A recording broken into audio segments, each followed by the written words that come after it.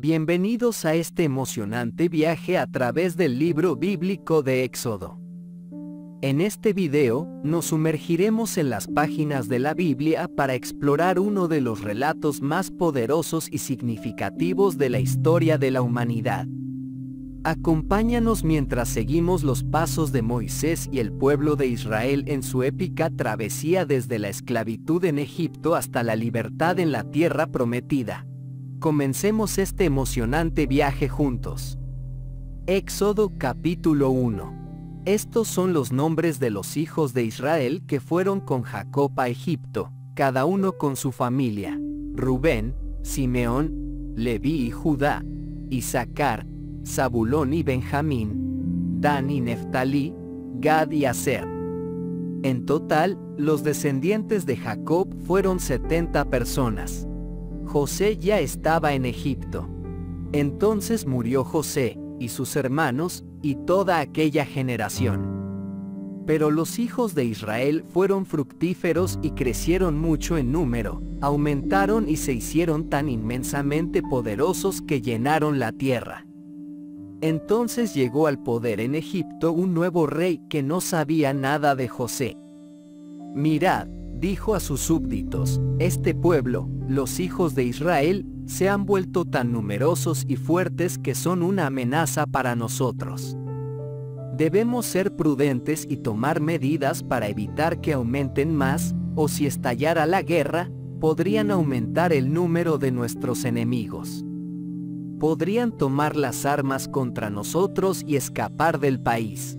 Por lo tanto, pusieron esclavos sobre los israelitas para desgastarlos bajo cargas pesadas. De esta manera construyeron las ciudades de almacenamiento de Pitón y Ramsés para Faraón. Pero cuanto más eran aplastados, más crecían y se extendían, y los hombres llegaron a temer a los hijos de Israel. Los egipcios obligaron a los hijos de Israel a servidumbre, y les hizo la vida insoportable con trabajos duros, trabajo con barro y con ladrillo, toda clase de trabajos del campo, les impusieron todo tipo de trabajo. Entonces habló el rey de Egipto a las parteras hebreas, una de las cuales se llamaba Cifra, y la otra Pua. Cuando las parteras atiendan a las hebreas, dijo, vigilen las dos piedras cuidadosamente. Si es un niño, mátalo. Si es una niña, déjala vivir. Pero las parteras, temerosas de Dios, desobedecieron la orden del rey de Egipto y dejaron vivir a los niños. Entonces el rey de Egipto llamó a las parteras. ¿Por qué les preguntó han hecho esto y perdonado a los niños? Las mujeres hebreas no son como las egipcias, respondieron a Faraón, son fuertes y dan a luz antes de que las alcance la partera. Dios fue bondadoso con las parteras. El pueblo fue aumentando y se hizo muy poderoso, porque las parteras temían a Dios, Él les dio descendencia. Faraón entonces dio a sus súbditos esta orden. Echen al río a todos los niños nacidos de los hebreos, pero dejen vivir a todas las niñas. Éxodo capítulo 2. Había un hombre de la tribu de Leví que había tomado por mujer a una mujer de Leví. Ella concibió y dio a luz un hijo y, viendo que era un niño tan hermoso, lo tuvo escondido por tres meses. Cuando ya no pudo ocultarlo más, le compró una cesta de papiro, cubriéndola con betún y brea, metió al niño dentro y lo puso entre los juncos a la orilla del río. Su hermana se quedó a cierta distancia para ver qué le sucedía.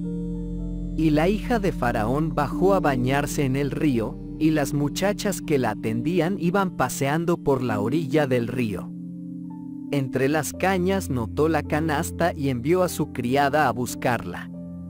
La abrió y miró, y vio a un niño que lloraba, y ella se compadeció de él. Este es un hijo de uno de los hebreos, dijo. Entonces la hermana del niño dijo a la hija de Faraón, ¿iré y te buscaré entre las hebreas una nodriza que te amamante al niño? Sí, ve le dijo la hija de Faraón, y la niña se fue a buscar a la propia madre del bebé. A ella la hija de Faraón le dijo, Llévate a este niño y amamante para mí. Me ocuparé de que te paguen. Entonces la mujer tomó al niño y lo amamantó. Cuando el niño creció, ella lo trajo a la hija de Faraón, quien lo trató como a un hijo. Lo llamó Moisés porque, dijo, yo lo saqué del agua. Moisés, ya hombre, salió en este tiempo a visitar a sus compatriotas, y vio la vida tan dura que estaban teniendo, y vio a un egipcio herir a un hebreo, uno de sus compatriotas. Mirando a su alrededor, no vio a nadie a la vista, así que mató al egipcio y lo escondió en la arena. Al día siguiente volvió, y había dos hebreos peleando. Le dijo al hombre que estaba en el mal, ¿qué quieres decir con golpear a tu compatriota? ¿Y quién te nombró? replicó el hombre, príncipe y juez sobre nosotros. ¿Pretendes matarme como mataste al egipcio? Moisés estaba asustado. Claramente ese negocio ha salido a la luz, pensó. Cuando Faraón se enteró, quiso matar a Moisés, pero Moisés huyó de Faraón y se dirigió a la tierra de Madián. Y se sentó junto a un pozo. El sacerdote de Madián tenía siete hijas. Vinieron a sacar agua y a llenar los abrevaderos para dar de beber a las ovejas de su padre. Los pastores vinieron y los ahuyentaron, pero Moisés salió en su defensa y les dio de beber a sus ovejas. Cuando regresaron a su padre Reguel, él les dijo, regresaron temprano hoy. Un egipcio nos protegió de los pastores. Ellos dijeron sí, y él sacó agua para nosotros y abrevó el rebaño. ¿Y dónde está? preguntó a sus hijas. ¿Por qué dejaste al hombre allí? pídele que coma con nosotros. Entonces Moisés habitó con este hombre, quien le dio a su hija Séfora en matrimonio. Ella dio a luz un hijo, y él le puso por nombre Gersón, porque dijo, durante este largo periodo murió el rey de Egipto. Los hijos de Israel, gimiendo en su esclavitud, clamaron por ayuda y desde lo más profundo de su esclavitud su clamor subió a Dios. Dios escuchó su gemido y recordó su pacto con Abraham, Isaac y Jacob. Miró Dios a los hijos de Israel, y supo. Éxodo capítulo 3. Moisés apacentaba las ovejas de Jetro, su suegro, sacerdote de Madián. Condujo su rebaño al otro lado del desierto y llegó a Horeb, la montaña de Dios. Allí se le apareció el ángel de Yahvé en forma de llama de fuego, que salía de en medio de una zarza. Moisés miró, la zarza ardía, pero no se quemaba. Tengo que ir y mirar este espectáculo extraño, dijo Moisés, y ver por qué la zarza no se quema. Y lo vio Yahvé que se adelantaba para mirar, y lo llamó Dios de en medio de la zarza. Moisés, Moisés, él dijo, Aquí estoy, respondió. No os acerquéis, dijo. Quítate los zapatos, porque el lugar que pisas es tierra santa. Yo soy el Dios de vuestro Padre, dijo, el Dios de Abraham, el Dios de Isaac y el Dios de Jacob. Ante esto, Moisés se cubrió la cara, temeroso de mirar a Dios. Y dijo Yahvé, He visto la miseria de mi pueblo en Egipto.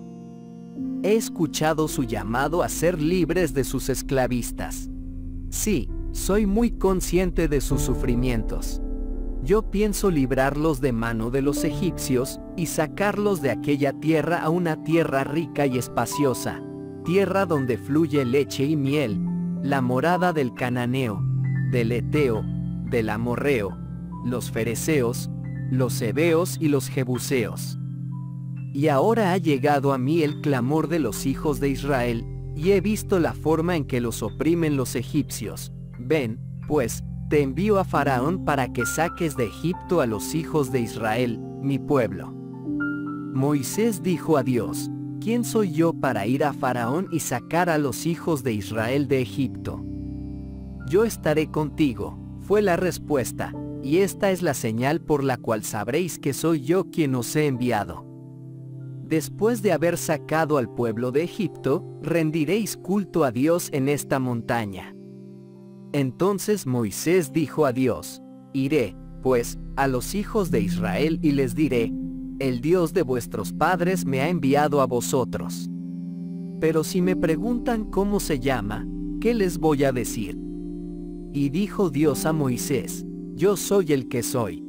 Esto, añadió, es lo que debéis decir a los hijos de Israel. Yo soy me ha enviado a vosotros. Y dijo también Dios a Moisés, Tú dirás a los hijos de Israel, Yahvé, el Dios de vuestros padres, el Dios de Abraham, el Dios de Isaac y el Dios de Jacob, me ha enviado a vosotros. Este es mi nombre para siempre, por este nombre seré invocado por todas las generaciones venideras. Ve y reúne a los ancianos de Israel y diles, se me ha aparecido Yahvé, el Dios de vuestros padres, el Dios de Abraham, de Isaac y de Jacob, y él me ha dicho, te he visitado y he visto todo lo que los egipcios están haciendo contigo. Por tanto, he resuelto sacaros de Egipto, donde estáis oprimidos, a la tierra del Cananeo, del Eteo, del Amorreo, del Fereceo, del Ebeo y del Jebuseo, a una tierra donde fluye leche y miel. Ellos oirán tus palabras, y con los ancianos de Israel irás al rey de Egipto y le dirás, Yahvé, el Dios de los Hebreos, ha venido a nuestro encuentro. Danos permiso, pues, para hacer un camino de tres días por el desierto para ofrecer sacrificio a Yahvé nuestro Dios. Por mí, sabiendo que el rey de Egipto no os dejará ir a menos que lo obligue una mano fuerte, mostraré mi poder y golpearé a Egipto con todas las maravillas que voy a hacer allí. Después de esto te dejará ir. Daré a este pueblo tal prestigio a los ojos de los egipcios, que cuando os vayáis, no os iréis con las manos vacías. Cada mujer pedirá a su vecina y a la mujer que se hospeda en su casa adornos de plata y oro. Con estos adornarás a tus hijos e hijas, saquearás a los egipcios.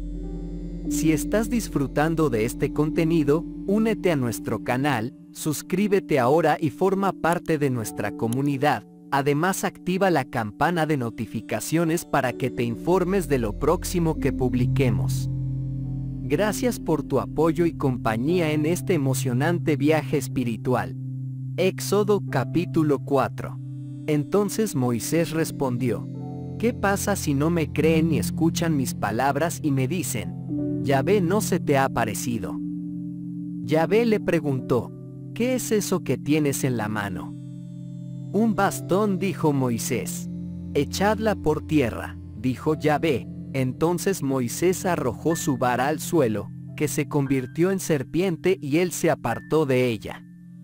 Extiende tu mano y tómala por la cola, le dijo Yahvé. Y él extendió su mano y la atrapó, y en su mano la serpiente se convirtió en un bastón. Para que crean que Yahvé, el Dios de sus padres, el Dios de Abraham, el Dios de Isaac y el Dios de Jacob, realmente se te ha aparecido. Y habló Yahvé a Moisés, mete tu mano en tu seno. Puso su mano en su seno y cuando la sacó, su mano estaba cubierta de lepra, blanca como la nieve. Pon tu mano de nuevo en tu seno. Volvió a meter la mano en su seno y cuando la sacó, allí estaba restituida, igual que el resto de su carne. Aún así, si no os creen ni se convencen de la primera señal, la segunda los convencerá. Pero si no creyeren ninguna de estas dos señales y no escucharen vuestras palabras, tomaréis agua del río y la derramaréis sobre la tierra, y el agua que habéis sacado del río se convertirá en sangre sobre la tierra. Dijo Moisés a Yahvé, pero, Señor mío, nunca en mi vida he sido hombre de elocuencia, ni antes ni después de que hablaste a tu siervo. Soy un hablante lento y no soy capaz de hablar bien. ¿Quién dio al hombre su boca? Yahvé le respondió, ¿quién lo hace mudo o sordo? ¿Le da la vista o lo deja ciego? No soy yo, Yahvé. Ahora ve, te ayudaré a hablar y te diré qué decir. Si te place, mi señor, respondió Moisés, envía a quien quieras.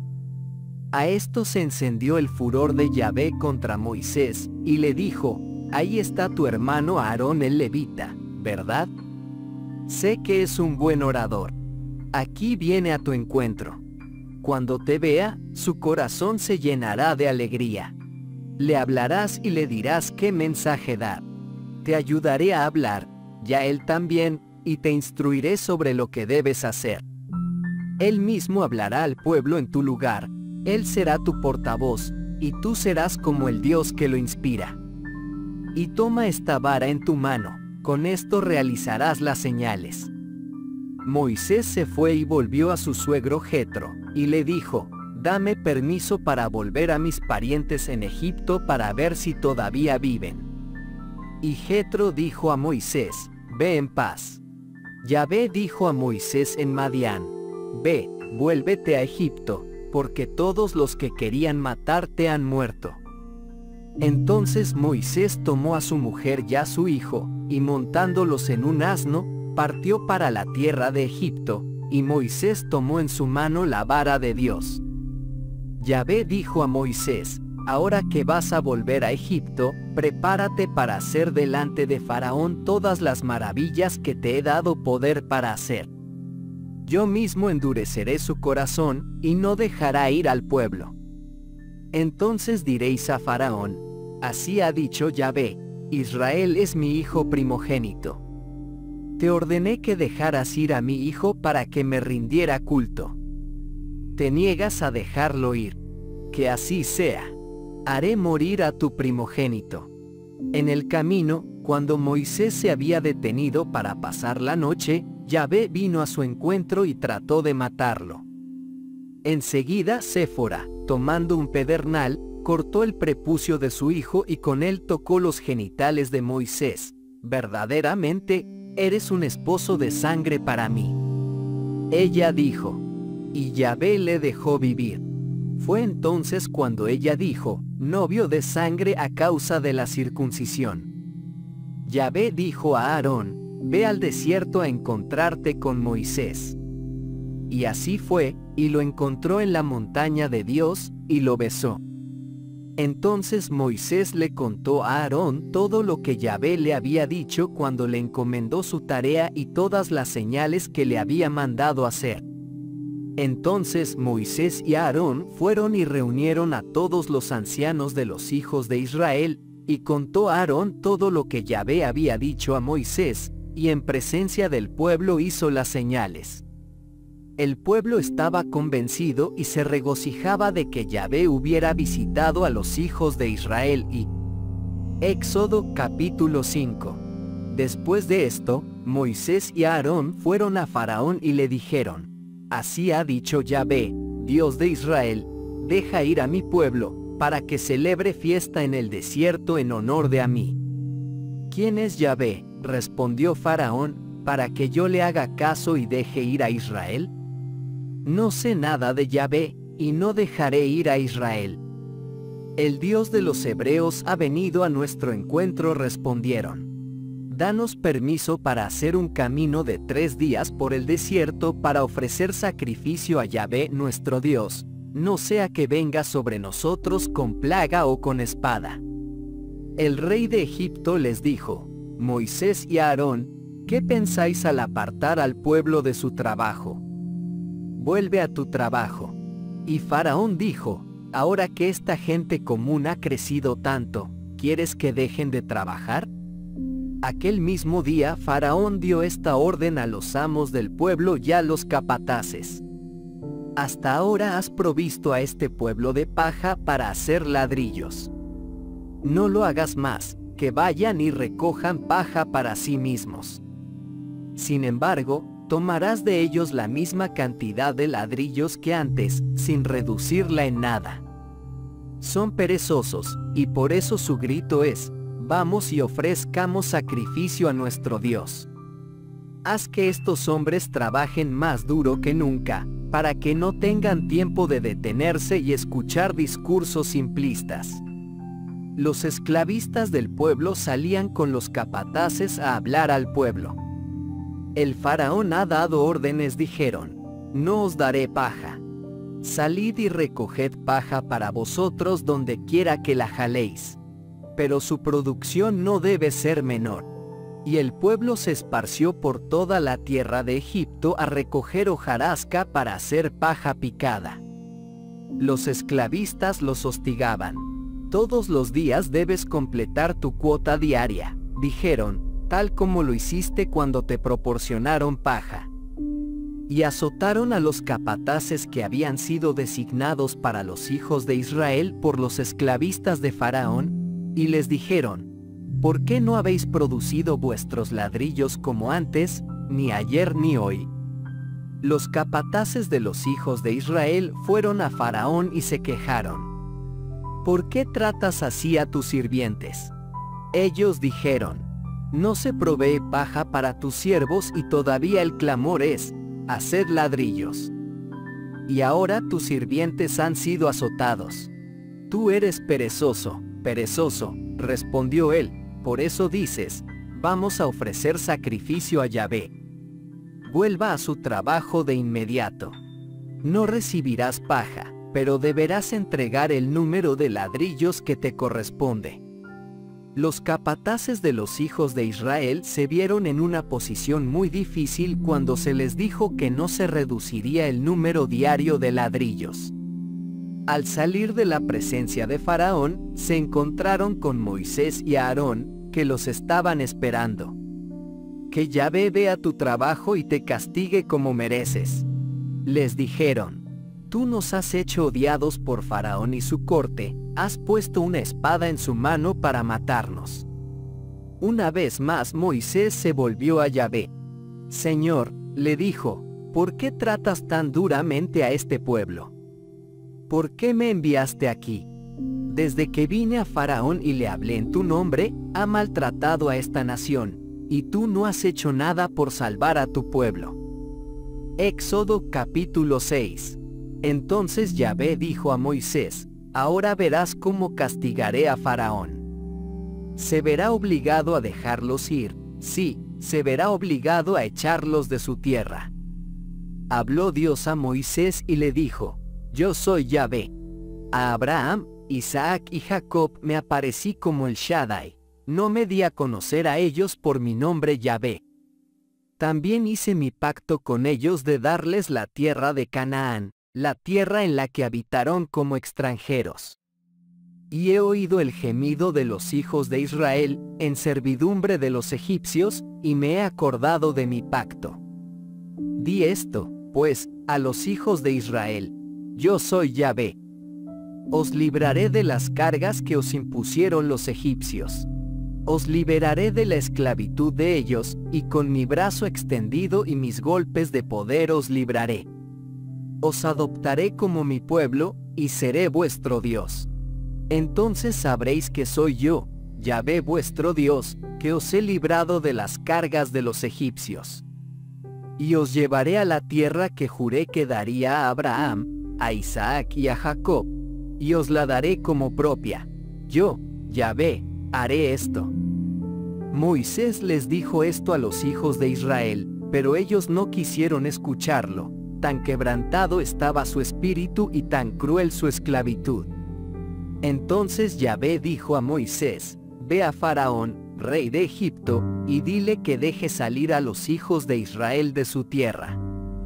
Pero Moisés respondió en la cara de Yahvé, Mira, dijo él, ya que los hijos de Israel no me han escuchado, ¿por qué me ha de escuchar Faraón, un hombre tardo en hablar? Yahvé habló a Moisés y a Aarón, y les ordenó que fueran a Faraón, rey de Egipto, y que sacaran a los hijos de Israel de la tierra de Egipto. Estos son los jefes de sus familias, los hijos de Rubén, el primogénito de Israel, Hanoc, Palú, Esrón y Carmi. Estos son los clanes de Rubén. Los hijos de Simeón, Gemuel, Jamín, Ohad, Jaquín, Sohar y Saúl, hijo de la cananea. Estos son los clanes de Simeón. Estos son los nombres de los hijos de Leví con sus descendientes, Gersón, Cout y Merari. Leví vivió 137 años. Los hijos de Gersón, Libni y Simei y sus clanes. Los hijos de Coat, Amram, Izar, Hebrón y Uziel. Coat vivió 133 años. Los hijos de Merari, Mali y Musi. Estos son los clanes de Leví con sus descendientes. Amram se casó con Jocabed, su tía, quien le dio a luz a Aarón y Moisés. Los hijos de Izar fueron Coré, Nefeg y Sicri. Y los hijos de Uziel, Misael, Elzafán y Citri. Aarón se casó con Eliseba, hija de Aminadab y hermana de Naasón, y ella le dio a luz a Nadab, Abiú, Eleazar e Itamar. Los hijos de Coré, Asir, Elcana y Abiasaf. Estos son los clanes de los coreitas. Eleazar, hijo de Aarón, se casó con una de las hijas de Putiel, la cual le dio a luz a Finés. Estos son los jefes de las familias de los levitas según sus clanes. A este mismo Aarón y Moisés había dicho Yahvé, sacad a los hijos de Israel de la tierra de Egipto en orden de batalla.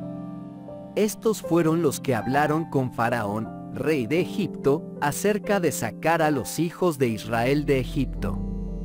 Eran los mismos Moisés y Aarón. El día que habló Yahvé a Moisés en la tierra de Egipto, le dijo esto, Yo soy Yahvé. Dile a Faraón, rey de Egipto, todo lo que te digo. Pero Moisés dijo a la cara de Yahvé, Soy lento en el habla, ¿por qué me ha de escuchar Faraón? Éxodo capítulo 7. Dijo Yahvé a Moisés, He aquí yo te hago Dios de Faraón, y tu hermano Aarón será tu profeta. Tú mismo le dirás todo lo que te mando, y a Aarón tu hermano le dirá a Faraón que deje salir a los hijos de Israel de su tierra. Yo mismo endureceré el corazón de Faraón, y haré muchas señales y prodigios en la tierra de Egipto, Faraón no os escuchará. Así que pondré mi mano sobre Egipto y con golpes de poder sacaré a mis ejércitos, a mi pueblo, a los hijos de Israel, de la tierra de Egipto. Y sabrán todos los egipcios que yo soy Yahvé, cuando extienda mi mano contra Egipto, y saque a los hijos de Israel de en medio de ellos. Moisés y Aarón obedecieron, hicieron lo que Yahvé les mandó. Moisés tenía 80 años y Aarón 83 cuando fueron oídos de Faraón. Dijo Yahvé a Moisés y a Aarón, si Faraón te dice, haz alguna maravilla, debes decirle a Aarón, toma tu vara y arrójala delante de Faraón, y que se convierta en una serpiente.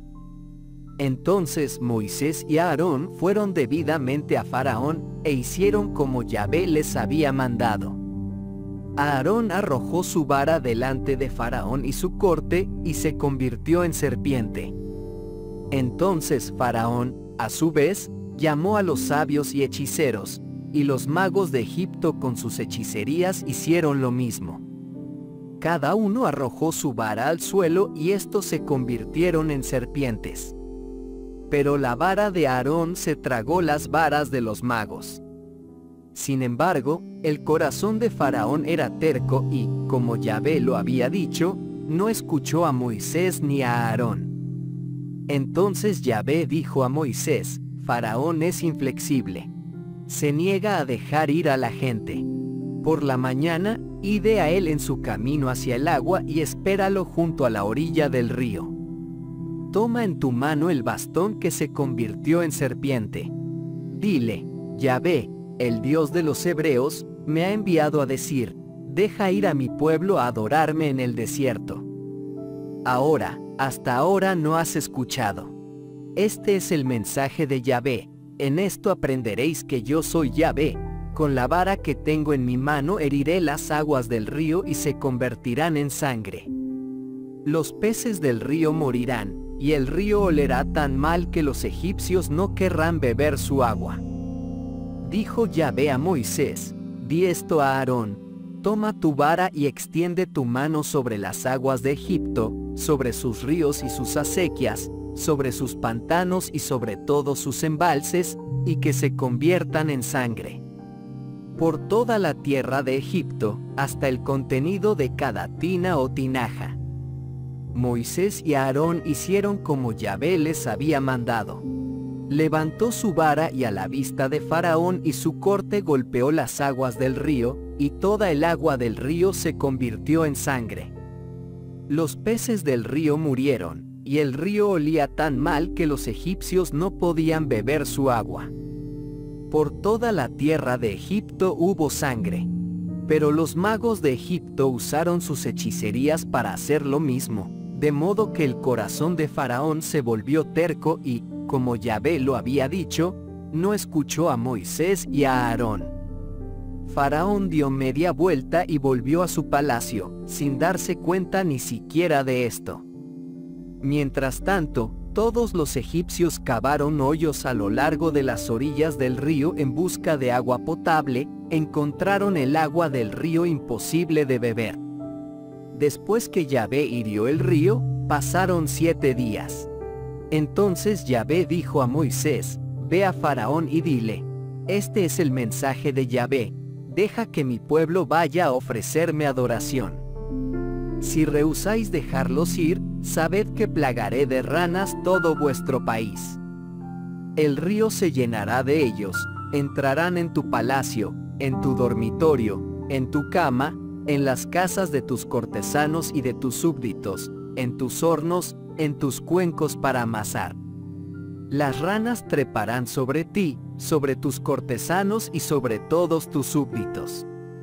Éxodo capítulo 8. Dijo Yahvé a Moisés, di esto a Aarón, extiende tu mano y tu vara sobre los ríos, los canales, los pantanos, y haz que las ranas pululen por toda la tierra de Egipto. Entonces Aarón extendió su mano sobre las aguas de Egipto, y las ranas subieron y cubrieron la tierra de Egipto.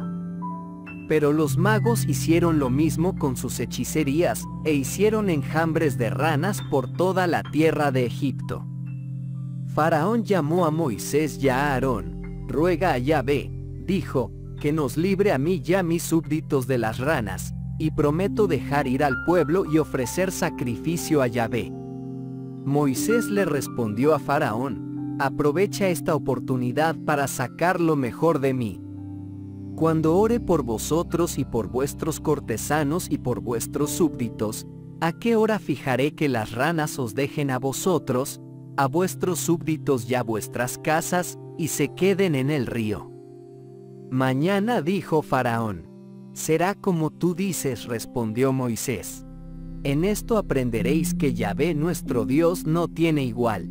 Las ranas se irán de ti y de tus palacios, de tus cortesanos y de tus súbditos, se quedarán en el río. Cuando Moisés y Aarón se fueron de la presencia de Faraón, Moisés rogó a Yahvé acerca de las ranas con las que había afligido a Faraón. Y Yahvé concedió la oración de Moisés, en la casa, en el patio y en el campo, murieron las ranas. Los amontonaron en montones y la tierra apestó a ellos. Pero tan pronto como vio que se había concedido el alivio, Faraón volvió a ser inflexible y, como Yahvé lo había dicho, se negó a escuchar a Moisés y a Aarón. Entonces Yahvé dijo a Moisés, di esto a Aarón, extiende tu vara y golpea el polvo en la tierra, por toda la tierra de Egipto se convertirá en mosquitos. Aarón extendió su mano con su bastón y golpeó el polvo en la tierra. Los mosquitos atacaron a hombres y bestias. En toda la tierra de Egipto el polvo del suelo se convirtió en mosquitos. Los magos con sus hechicerías trataron de producir mosquitos y fracasaron. Los mosquitos atacaron a hombres y bestias. Entonces los magos dijeron a Faraón, Este es el dedo de Dios. Pero el corazón de Faraón era terco y, como Yahvé había dicho, se negó a escuchar a Moisés y a Aarón. Entonces Yahvé dijo a Moisés, Levántate temprano en la mañana y espera a Faraón mientras se dirige al agua. Dile, este es el mensaje de Yahvé, deja ir a mi pueblo a ofrecerme adoración. Mas si no dejáis ir a mi pueblo, enviaré tábanos sobre vosotros, sobre vuestros cortesanos y sobre vuestros palacios. Las casas de los egipcios estarán infestadas de ellos, y hasta el mismo suelo que pisan. Pero apartaré la tierra de Gosén, donde habita mi pueblo, en aquel día, allí no habrá tábanos, y para que sepáis que yo, Yahvé, estoy en medio de la tierra. Haré distinción entre mi pueblo y el tuyo. Esta señal tendrá lugar mañana. Yahvé hizo esto, y grandes nubes de tábanos entraron en el palacio de Faraón, en las casas de sus cortesanos, y en toda la tierra de Egipto, y arruinaron el país. Faraón llamó a Moisés y a Aarón. Ve, dijo, y ofrece sacrificios a tu Dios, pero en este país, eso no estaría bien, respondió Moisés. Sacrificamos a Yahvé nuestro Dios animales cuya matanza los egipcios consideran sacrilegio. Si ofrecemos delante de los egipcios sacrificios que los ultrajen, ¿no nos apedrearán? Debemos hacer un camino de tres días por el desierto para ofrecer sacrificio a Yahvé nuestro Dios, como Él nos ha mandado. Faraón respondió, te dejaré ir a ofrecer sacrificio a Yahvé tu Dios en el desierto, con tal de que no vayas lejos. E intercede por mí. En el momento en que los deje, dijo Moisés, rogaré a Yahvé. Mañana por la mañana los tábanos dejarán a Faraón y sus cortesanos y sus súbditos. Solo que Faraón no debe volver a engañar y negarse a dejar que el pueblo vaya a ofrecer sacrificio a Yahvé.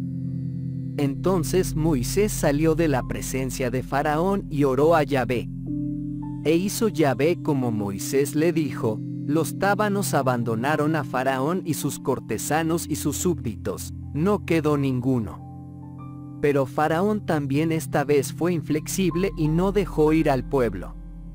Éxodo capítulo 9. Yahvé dijo a Moisés, Ve a Faraón y dile, Este es el mensaje de Yahvé, el Dios de los Hebreos, deja que mi pueblo vaya a ofrecerme adoración.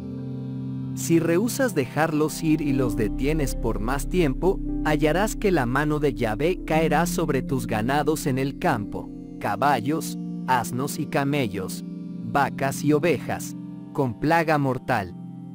Yahvé hará distinción entre el ganado de Israel y el de Egipto, nada morirá de todo lo que pertenece a los hijos de Israel. Yahvé ha fijado la hora. Mañana, ha dicho, Yahvé cumplirá esta amenaza en toda la tierra. Al día siguiente Yahvé cumplió su palabra, murió todo el ganado de los egipcios, pero no murió ninguno de los hijos de Israel. Faraón hizo averiguaciones, pero era verdad, ninguno había muerto del ganado de los hijos de Israel. Pero Faraón volvió a insistir y no dejó ir al pueblo dijo Yahvé a Moisés y a Aarón, tomad puñados de hollín del horno, y delante de los ojos de Faraón, que Moisés los arroje por los aires. Se extenderá como polvo fino sobre toda la tierra de Egipto, y sacará llagas en hombres y animales por toda la tierra de Egipto. Entonces tomaron hollín del horno y se pararon frente a Faraón, y Moisés lo arrojó al aire y en hombres y bestias hizo brotar forúnculos que se convirtieron en llagas. Y los magos no podían hacer frente a Moisés, porque los magos estaban cubiertos de úlceras como todos los demás egipcios. Pero Yahvé endureció el corazón de Faraón y, como Yahvé lo había dicho, no los escuchó. Entonces Yahvé dijo a Moisés, levántate de mañana y preséntate ante Faraón. Dile, este es el mensaje de Yahvé, el Dios de los Hebreos. Deja que mi pueblo vaya a ofrecerme adoración.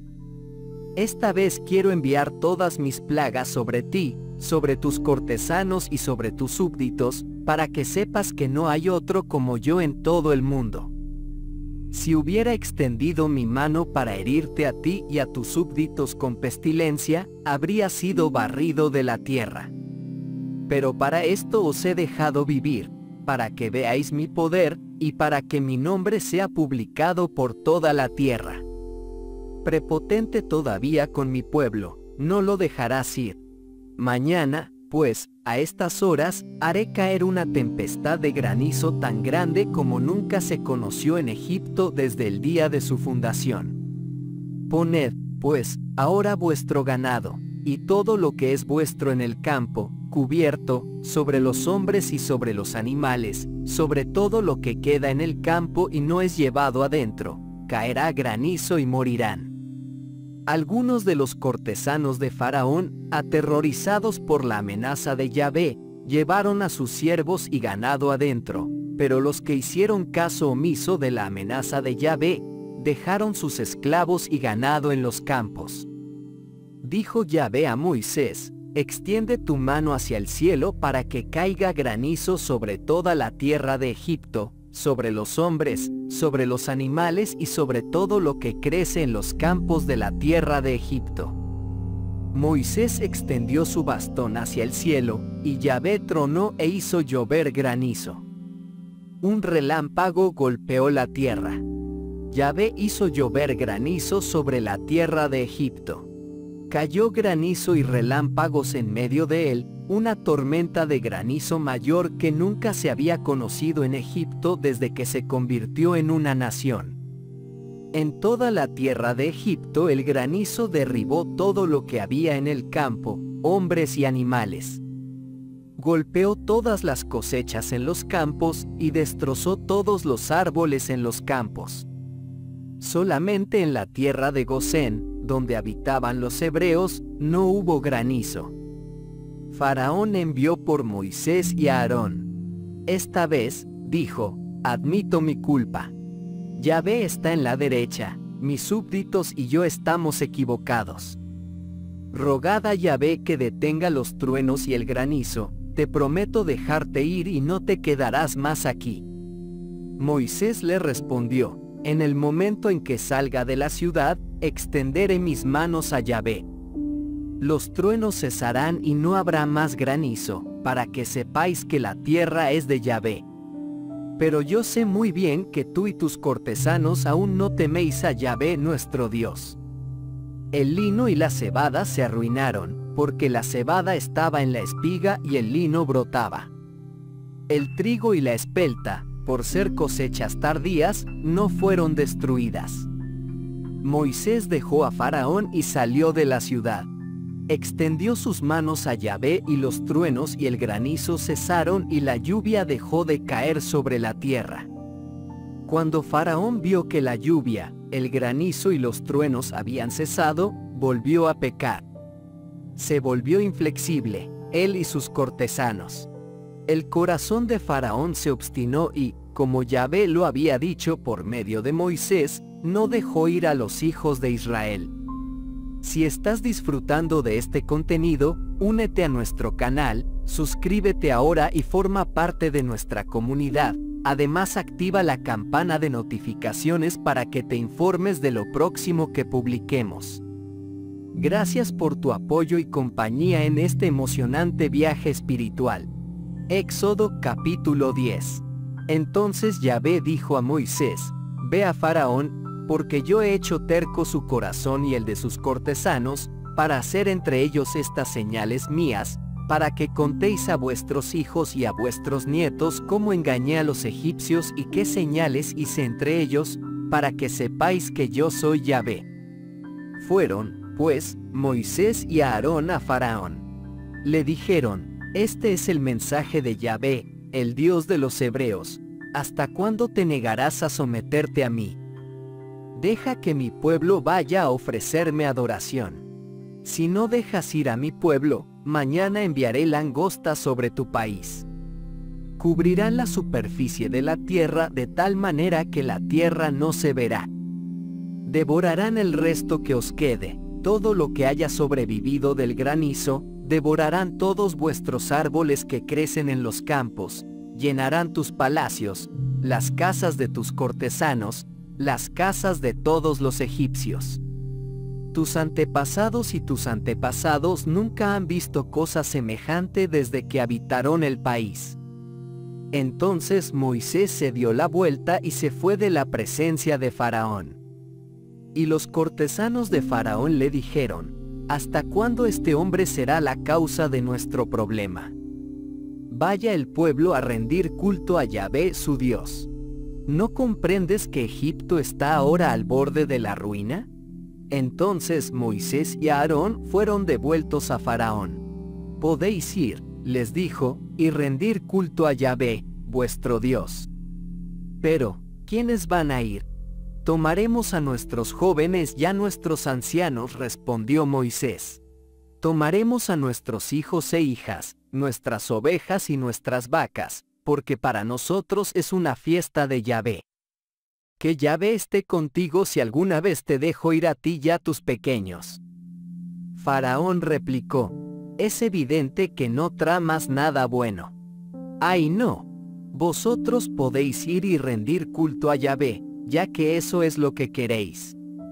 Y con esto fueron despedidos de la presencia de Faraón.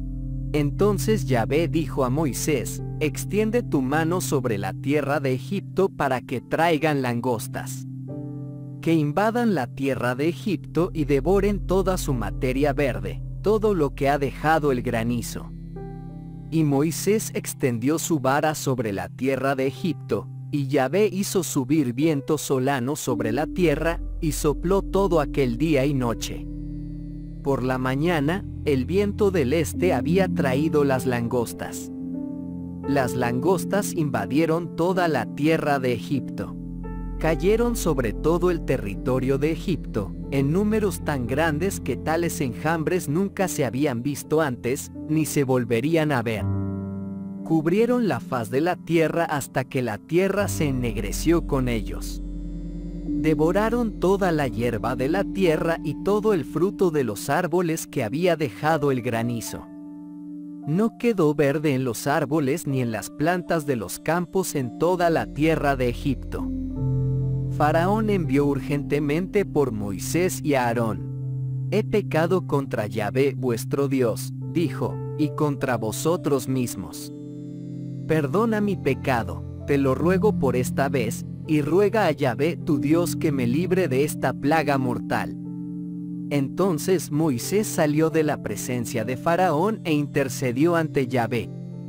Entonces Yahvé hizo virar el viento, y sopló del occidente con tanta fuerza, que atrapó las langostas, y las llevó hacia el mar de juncos. No quedó ni una langosta en toda la tierra de Egipto.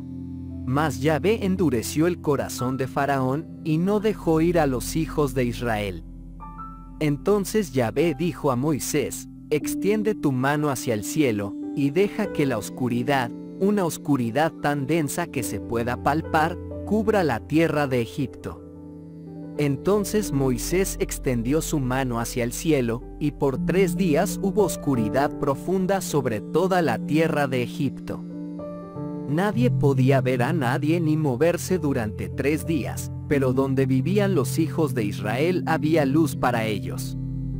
Faraón llamó a Moisés. Id y rendid culto a Yahvé, dijo, pero vuestros rebaños y vacas deben permanecer aquí. Tus hijos también pueden ir contigo. Moisés respondió, pero tú debes darnos medios para ofrecer sacrificios y holocaustos a Yahvé nuestro Dios. Nuestro ganado también debe ir con nosotros, ni una cabeza de ganado debe quedar atrás. Debe ser de nuestro ganado que proveeremos para la adoración de Yahvé nuestro Dios, hasta que lleguemos al lugar, no sabemos qué adoración tendremos que ofrecer a Yahvé. Mas Yahvé endureció el corazón de Faraón y no quiso dejarlos ir. Faraón dijo a Moisés, fuera de mi vista. Cuidarse. Nunca vuelvas a aparecer ante mí, porque el día que lo hagas, morirás. Moisés respondió, tú mismo lo has dicho, nunca más me presentaré delante de ti. Éxodo capítulo 11.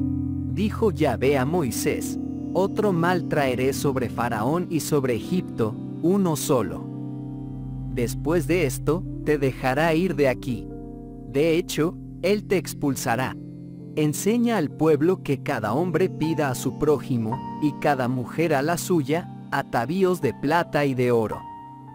Y Yahvé dio al pueblo prestigio a los ojos de los egipcios, mientras que Moisés mismo era un hombre de gran importancia en la tierra de Egipto, y de gran prestigio con los cortesanos de Faraón y con el pueblo. Dijo Moisés, este es el mensaje de Yahvé, hacia la medianoche pasaré por Egipto. Todo primogénito morirá en la tierra de Egipto, desde el primogénito de Faraón, heredero de su trono, hasta el primogénito de la sierva en el molino, y todo primogénito de las bestias. Y en toda la tierra de Egipto habrá tal llanto como nunca antes se oyó, ni se volverá a oír. Mas contra los hijos de Israel, contra hombre o bestia, perro no ladrará jamás, para que sepáis que Yahvé hace distinción entre Egipto e Israel. Entonces todos estos cortesanos tuyos descenderán a mí, se postrarán ante mí y dirán, vete, tú y todo el pueblo que te sigue. Después de esto, me iré. Y, ardiendo en ira, Moisés se fue de la presencia de Faraón. Entonces Yahvé dijo a Moisés, Faraón no te escuchará, para que mis maravillas se multipliquen en la tierra de Egipto. Todas estas maravillas hicieron Moisés y Aarón delante de Faraón. Pero Yahvé endureció el corazón de Faraón, y no permitió que los hijos de Israel salieran de su país. Éxodo capítulo 12. Dijo Yahvé a Moisés y a Aarón en la tierra de Egipto. Este mes es el primero de todos los otros para vosotros, el primer mes de vuestro año. Habla a toda la comunidad de Israel y diles, el día 10 de este mes, cada hombre tomará un animal del rebaño, uno por cada familia, un animal por cada casa. Si la casa es demasiado pequeña para comer el animal, un hombre debe juntarse con su vecino, el más cercano a su casa, según lo requiera el número de personas. Debes tener en cuenta lo que cada uno puede comer al decidir el número para el animal. Debe ser un animal sin defecto, macho de un año, puedes tomarlo de las ovejas o de las cabras. Lo guardaréis hasta el día 14 del mes, cuando toda la asamblea de la comunidad de Israel lo degollará entre las dos tardes. Luego se tomará parte de la sangre y se pondrá en los dos postes y en el dintel de las casas donde se come. Esa noche se comerá la carne asada al fuego, debe comerse con panes sin levadura y hierbas amargas. No comeréis nada de él crudo ni cocido, sino asado al fuego, cabeza, pies y entrañas.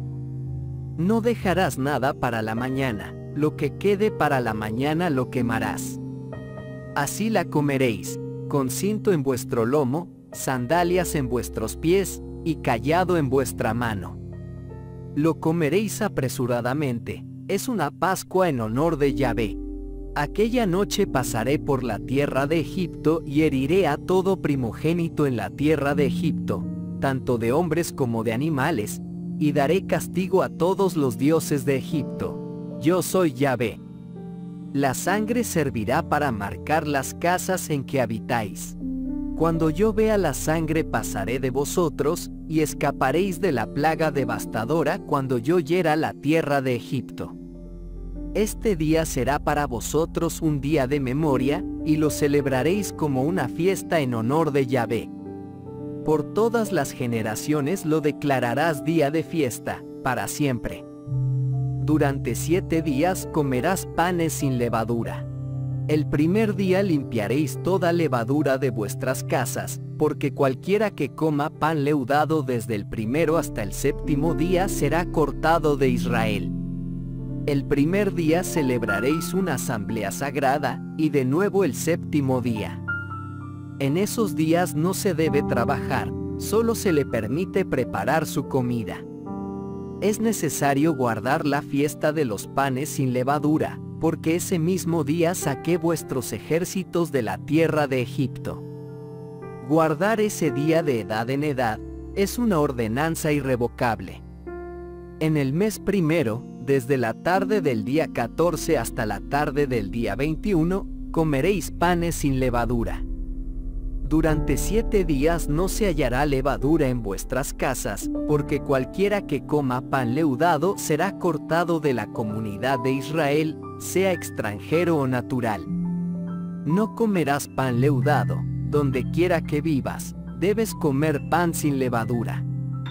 Moisés convocó a todos los ancianos de Israel y les dijo, Id y escoged animales del rebaño en nombre de vuestras familias, y sacrificad la víctima de la Pascua. Luego toma un poco de hisopo, mójalo en la sangre que está en la palangana, y con la sangre de la palangana toca el dintel y los dos postes de la puerta. Que ninguno de ustedes se aventure a salir de la casa hasta la mañana. Entonces, cuando Yahvé pase por Egipto para herirlo, y vea la sangre en el dintel y en los dos postes de la puerta, pasará por encima de la puerta y no permitirá que el destructor entre en sus casas y los hiera. Debes guardar estas reglas como ordenanza perpetua para ti y tus hijos. Cuando entréis en la tierra que Yahvé os da, como os prometió, guardaréis este rito. Y cuando vuestros hijos os pregunten, ¿qué significa este rito? Les dirás, es el sacrificio de la Pascua en honor de Yahvé, que pasó por alto las casas de los hijos de Israel en Egipto, e hirió a Egipto, pero salvó nuestras casas. Y el pueblo se inclinó y adoró. Entonces se fueron los hijos de Israel, y obedecieron. Cumplieron las órdenes que Yahvé les había dado a Moisés y a Aarón. Y a la medianoche Yahvé hirió a todo primogénito en la tierra de Egipto, el primogénito de Faraón, heredero de su trono, el primogénito del preso en su mazmorra, y el primogénito de todo el ganado. Faraón y todos sus cortesanos y todos los egipcios se levantaron de noche, y hubo un gran clamor en Egipto, porque no había casa sin sus muertos. Y era de noche cuando Faraón llamó a Moisés y a Aarón. Levántense, dijo, usted y los hijos de Israel, y aléjense de mi pueblo. Id y rendid culto a Yahvé como habéis pedido y, como habéis pedido, tomad vuestras ovejas y vuestras vacas, y andad. Y pide también una bendición sobre mí. Los egipcios instaron al pueblo a que se apresurara a abandonar la tierra porque decían, de lo contrario, todos moriremos.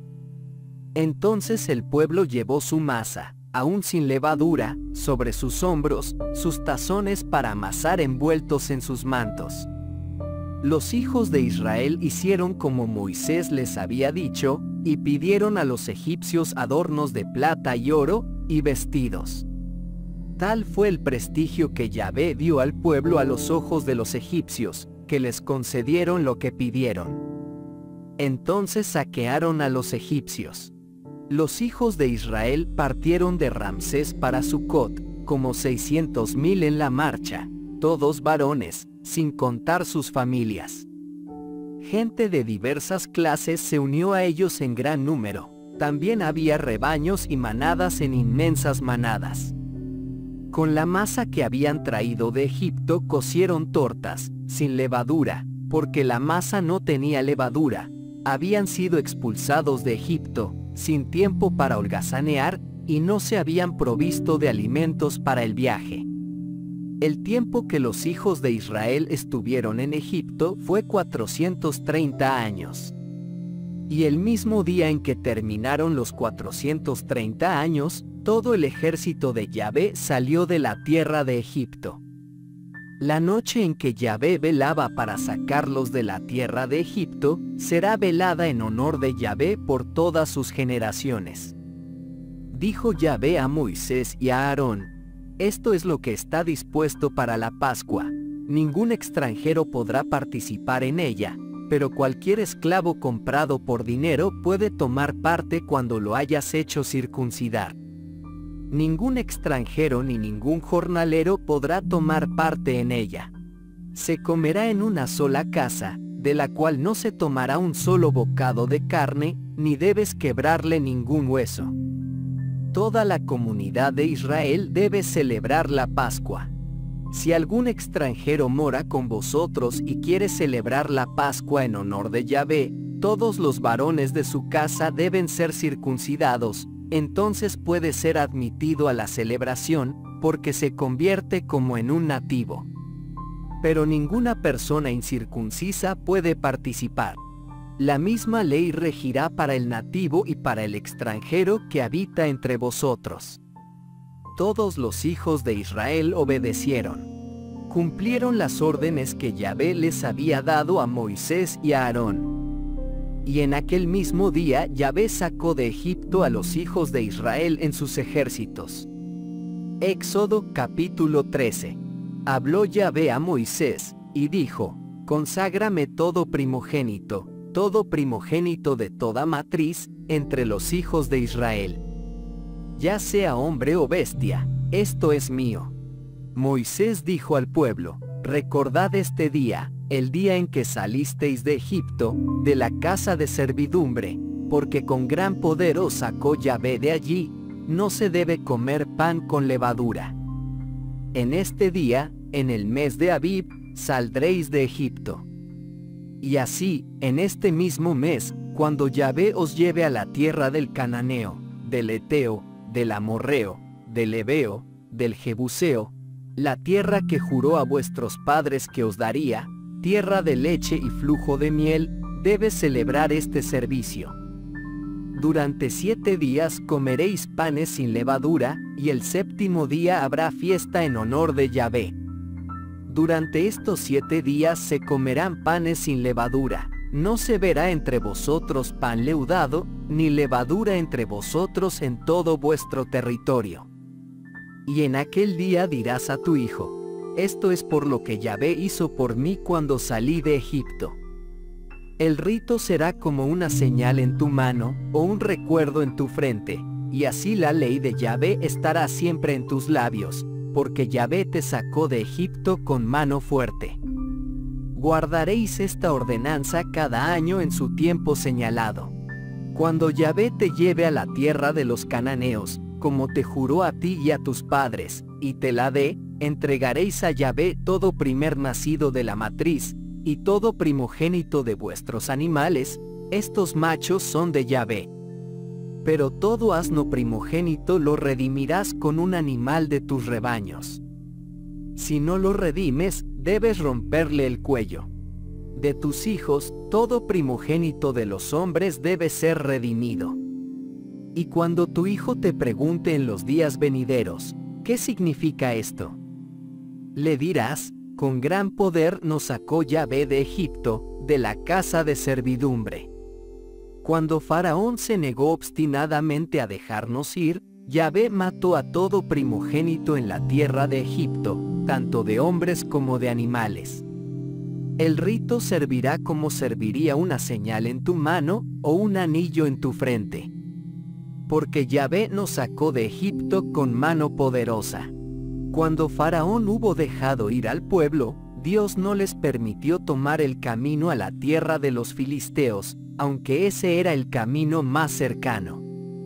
Dios pensó que la perspectiva de pelear haría que la gente se desanimara y regresara a Egipto. En cambio, Dios llevó al pueblo por el camino indirecto del desierto al mar de juncos. Los hijos de Israel salieron de Egipto completamente armados. Moisés tomó consigo los huesos de José, que había hecho juramento solemne a los hijos de Israel.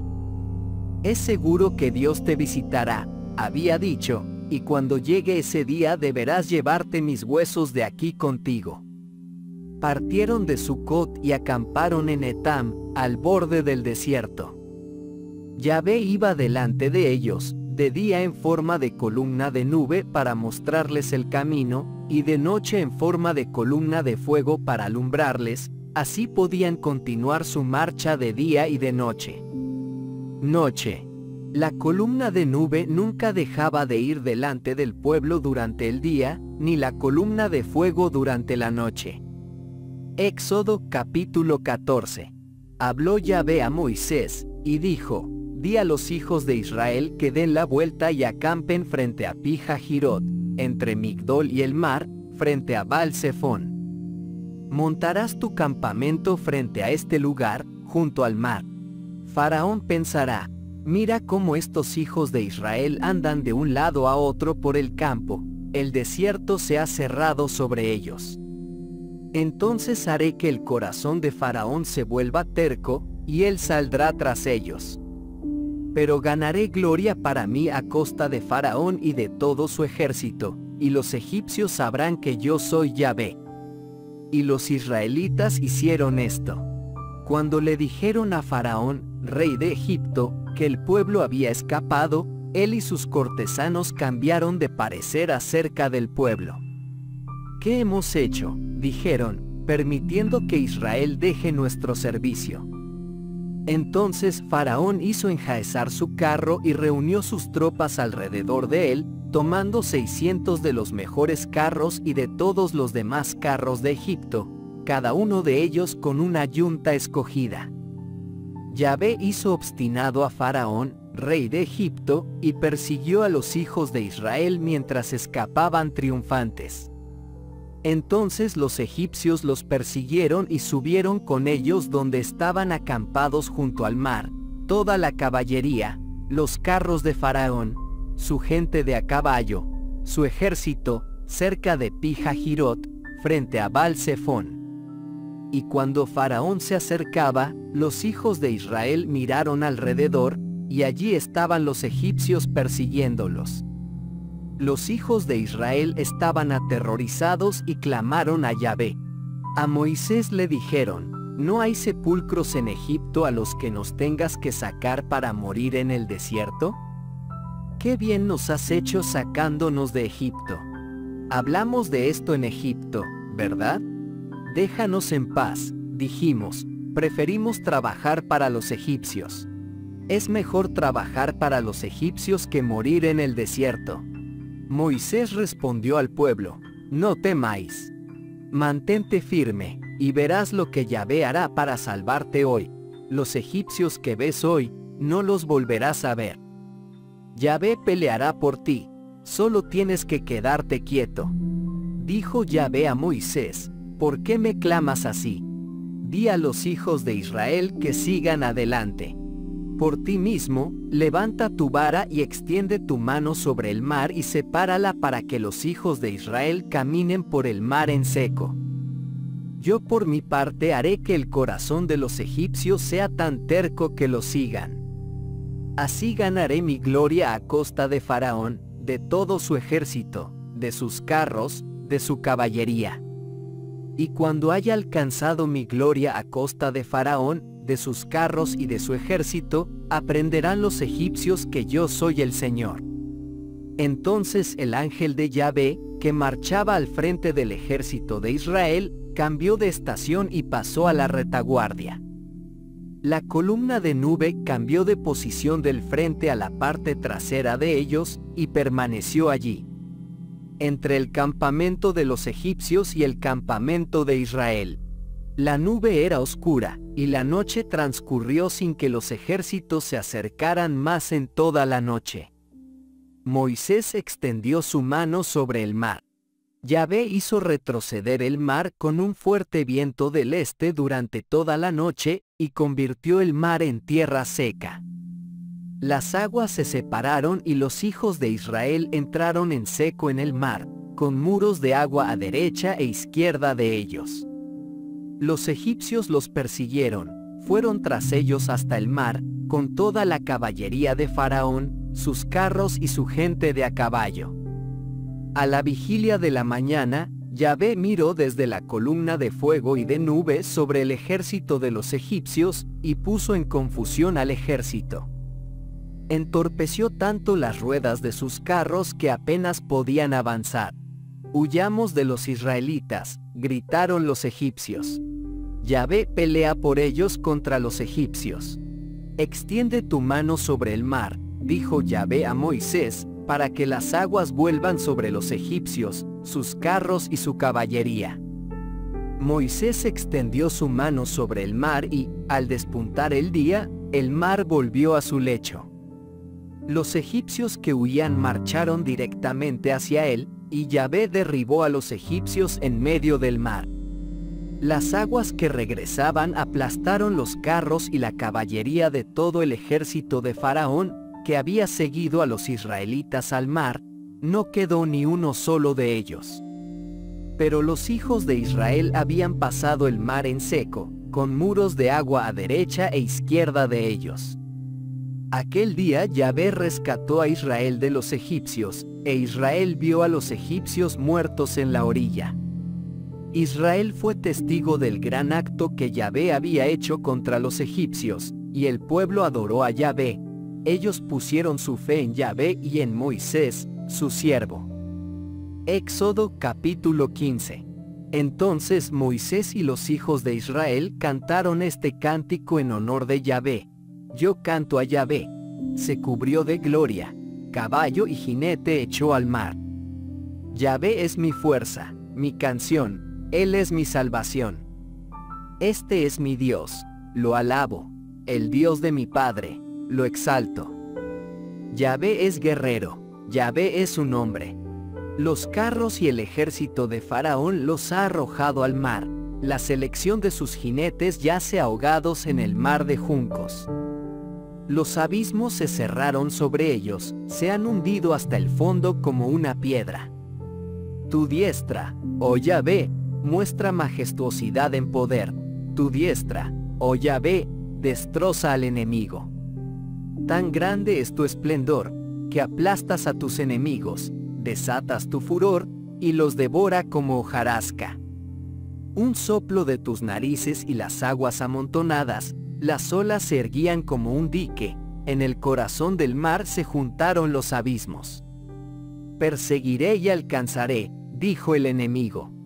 Repartiré el botín, mi alma se deleitará con él, sacaré mi espada, mi mano los destruirá.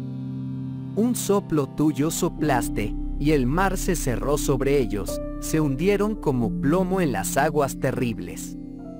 ¿Quién entre los dioses es semejante a ti, oh Yahvé? ¿Quién como tú, majestuoso en santidad, terrible en proezas, obrador de prodigios? Extendiste tu mano derecha, la tierra se los tragó. Con tu gracia guiaste al pueblo que redimiste, con tu poder los guiaste a tu santa casa. Al oír esto, los pueblos tiemblan, dolores se apoderan de los habitantes de Filistea. Los príncipes de Edom ahora se espantan, los príncipes de Moab se estremecen, todos los habitantes de Canaán están desvalidos. Caiga sobre ellos terror y espanto, por el poder de tu brazo quedan como piedra, como pasa tu pueblo, o ya ve, como pasa el pueblo que tú compraste. Los traerás y los plantarás en el monte que es tuyo, el lugar donde has hecho tu habitación, ya ve, el santuario, ya ve, preparado con tus propias manos. Yahvé será rey eternamente y para siempre. La caballería de Faraón, tanto sus carros como su caballería, había entrado en el mar, pero Yahvé había hecho volver las aguas del mar sobre ellos, pero los hijos de Israel habían marchado en seco a través del mar. Miriam la profetisa, hermana de Aarón, tomó un pandero, y todas las mujeres la seguían con panderos y danzando. Y Miriam los guiaba en el estribillo, cantada Yahvé, se ha cubierto de gloria, caballo y jinete ha arrojado al mar. Moisés hizo que Israel se fuera de su campamento en el mar de juncos, y se dirigieron al desierto de Sur, donde viajaron durante tres días sin encontrar agua. Llegaron a Mara, pero el agua era tan amarga que no podían beberla, por eso el lugar se llamó Mara. El pueblo se quejó de Moisés. ¿Qué vamos a beber? Ellos dijeron. Entonces Moisés apeló a Yahvé, y Yahvé le señaló un poco de leña. Esto lo echó Moisés en el agua, y el agua se endulzó. Allí les encomendó estatuto y ordenanza, allí los puso a prueba. Entonces él dijo, si escucháis atentamente la voz de Yahvé vuestro Dios, e hiciereis lo recto delante de sus ojos, si hiciereis caso de sus mandamientos, y guardareis sus estatutos, ninguno de los males que os he causado a vosotros os infligiré egipcios, porque soy yo, Yahvé, quien os curará. Llegaron, pues, a Elim, donde había doce fuentes de agua y setenta palmeras, y allí asentaron su campamento junto al agua. Éxodo capítulo 16. Partieron de nuevo de Elim, y toda la comunidad de los hijos de Israel llegó al desierto de Sin, entre Elim y Sinaí, el día 15 del segundo mes después de haber salido de Egipto. Y toda la comunidad de los hijos de Israel comenzó a quejarse contra Moisés y a Aarón en el desierto. Y les dijo, ¿por qué no morimos nosotros por mano de Yahvé en la tierra de Egipto, cuando podíamos sentarnos a la mesa y comer pan hasta saciarnos? Tal como están las cosas, nos has traído a este desierto para matar de hambre a toda esta compañía. Entonces Yahvé dijo a Moisés, ahora haré llover sobre vosotros pan del cielo. Cada día el pueblo debe salir y recoger la porción del día. Propongo probarlos de esta manera para ver si seguirán mi ley o no. El sexto día, cuando preparen lo que trajeron, será el doble de la recolección diaria. Moisés y Aarón dijeron a toda la comunidad de los hijos de Israel, por la tarde sabréis que Yahvé fue el que os sacó de la tierra de Egipto, y por la mañana veréis la gloria de Yahvé, porque él ha oído vuestras quejas contra él, no es contra nosotros que os quejáis, porque ¿qué somos? Y dijo Moisés, a la tarde Yahvé os dará de comer carne, y por la mañana pan hasta saciaros, porque Yahvé ha oído las quejas que habéis hecho contra él, tu queja no es contra nosotros, porque ¿qué somos? Sino contra Yahvé. Dijo Moisés a Aarón, a toda la comunidad de los hijos de Israel di esto, presentaos delante de Yahvé, porque él ha oído vuestras quejas.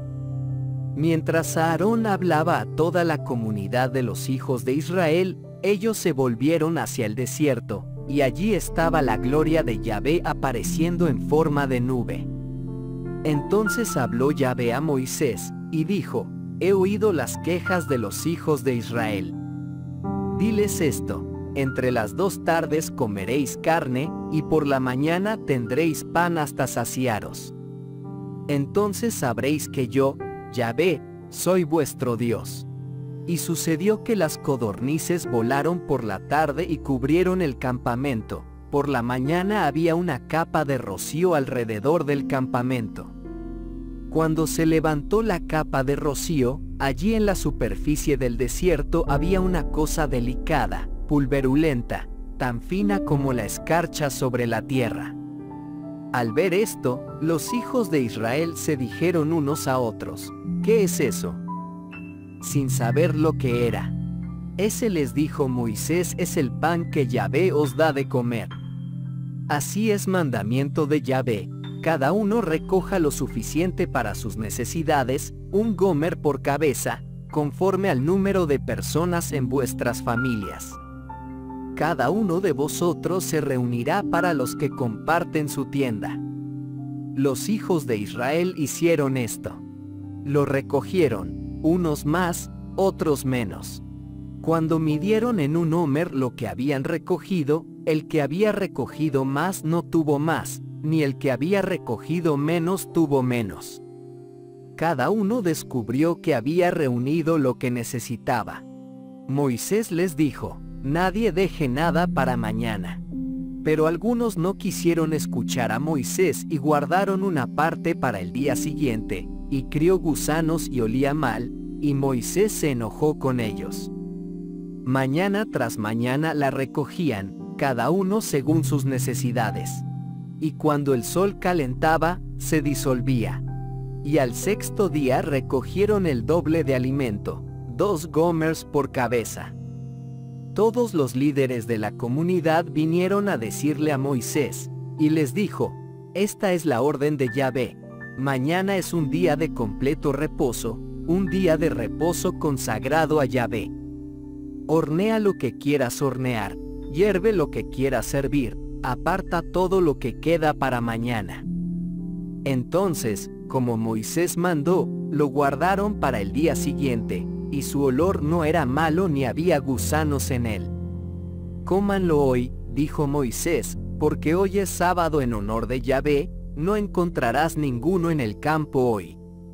Durante seis días lo recogeréis, pero el séptimo día, el día de reposo, no habrá nada.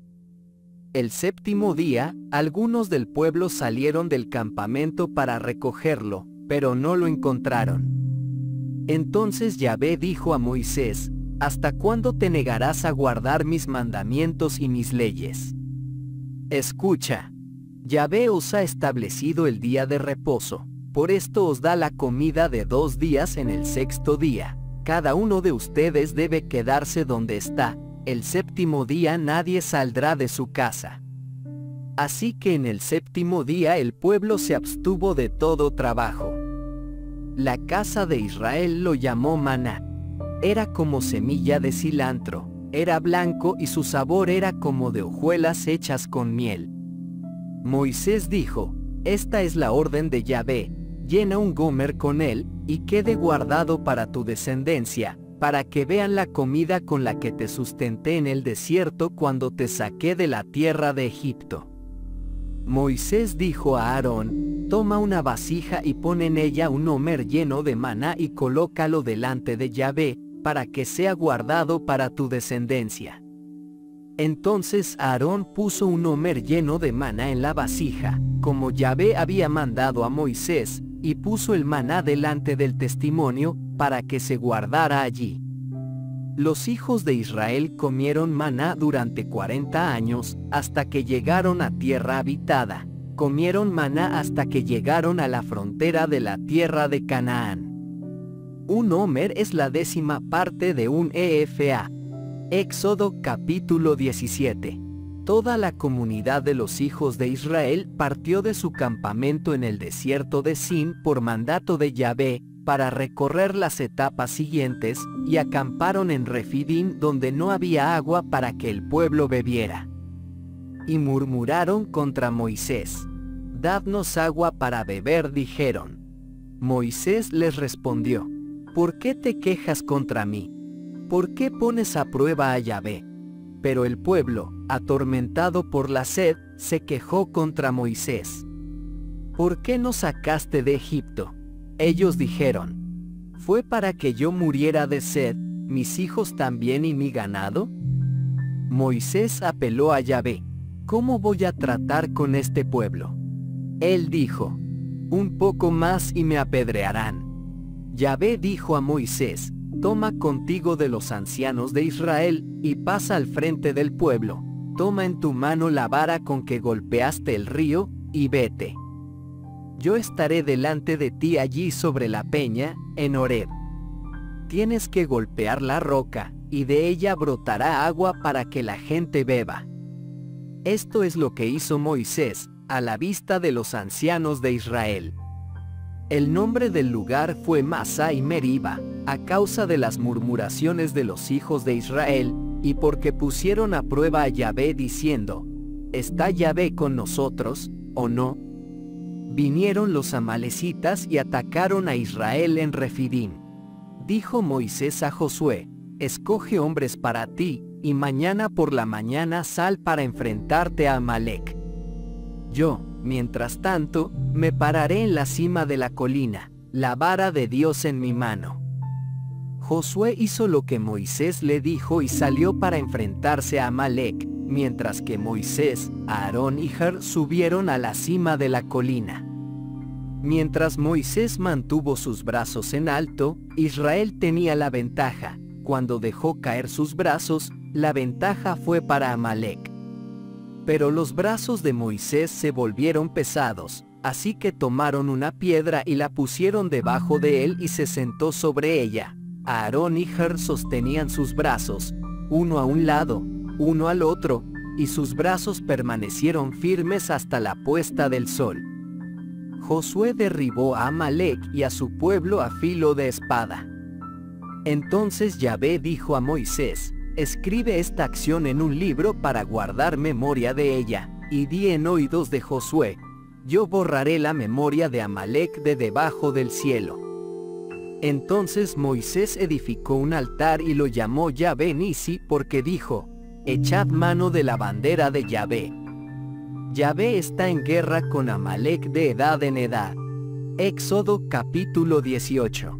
Y oyó Jetro sacerdote de Madián, suegro de Moisés, todas las cosas que Dios había hecho con Moisés y con Israel su pueblo, y cómo Yahvé había sacado a Israel de Egipto. Entonces Jetro, suegro de Moisés, trajo a Séfora, la mujer de Moisés, después de haberla despedido, con sus dos hijos. Uno de estos se llamó Gershom porque, él había dicho, soy un extranjero en una tierra extranjera. El nombre del otro era Eliezer porque el Dios de mi padre es mi ayuda y me ha librado de la espada de Faraón. Vino, pues, Jetro, suegro de Moisés, con la mujer y los hijos de su yerno, al desierto, donde estaba su campamento, en el monte de Dios. Aquí está tu suegro Jetro, que viene a visitarte, le dijeron a Moisés, con tu mujer y sus dos hijos. Entonces Moisés salió a recibir a su suegro e inclinándose ante él, lo besó, y cuando cada uno hubo preguntado por la salud del otro, entraron en la tienda. Entonces Moisés contó a su suegro todo lo que Yahvé había hecho a Faraón y a los egipcios por causa de Israel, y todas las penalidades que les habían sobrevenido en el camino, y cómo Yahvé los había librado. Y se alegró Jetro de toda la bondad de Yahvé para con Israel, al librarlos de manos de los egipcios. Bendito sea Yahvé, dijo Jetro entonces, que os ha librado de Egipto y de Faraón, y ha librado al pueblo de las garras de Egipto. Ahora sé que Yahvé es mayor que todos los dioses. Entonces Jetro, suegro de Moisés, ofreció holocausto y sacrificios a Dios, y Aarón vino con todos los ancianos de Israel a compartir la comida con el suegro de Moisés en la presencia de Dios. Al día siguiente, Moisés se sentó para administrar justicia al pueblo, y lo rodearon desde la mañana hasta la tarde. El suegro de Moisés, viendo los trabajos que él tomaba sobre sí mismo por el pueblo, le dijo, ¿por qué tomas todo esto sobre ti por el pueblo? ¿Por qué te sientas aquí solo con la gente que te rodea desde la mañana hasta la noche? Respondió Moisés a su suegro, porque el pueblo viene a mí para llevar sus consultas a Dios. Cuando tienen alguna disputa vienen a mí, y yo arreglo las diferencias entre uno y otro y los instruyo en los estatutos de Dios y sus decisiones. No está bien, le dijo el suegro de Moisés, tomar esto sobre ti. Te fatigarás, tú y el pueblo que está contigo. El trabajo es demasiado pesado para ti. No puedes hacerlo solo. Sigue mi consejo, y Dios estará contigo. Debes representar al pueblo ante Dios y llevarle sus disputas. Enséñales los estatutos y los decretos, muéstrales el camino que deben seguir y cuál debe ser su curso.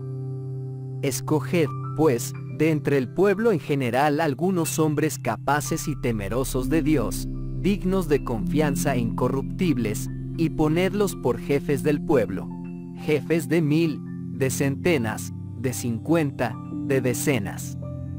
Que estos estén al servicio del pueblo para administrar justicia en todo tiempo.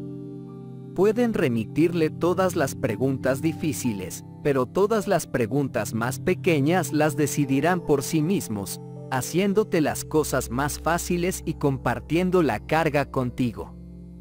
Si hacéis esto, y Dios os lo ordene, podréis soportar la tensión, y todo este pueblo volverá a casa satisfecho. Moisés siguió el consejo de su suegro e hizo como él dijo.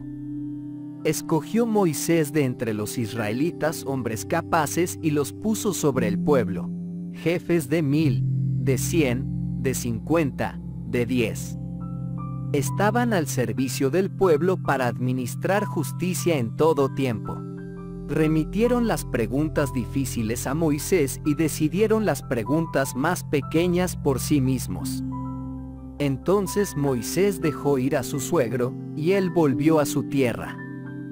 Éxodo capítulo 19. A los tres meses de su salida de la tierra de Egipto.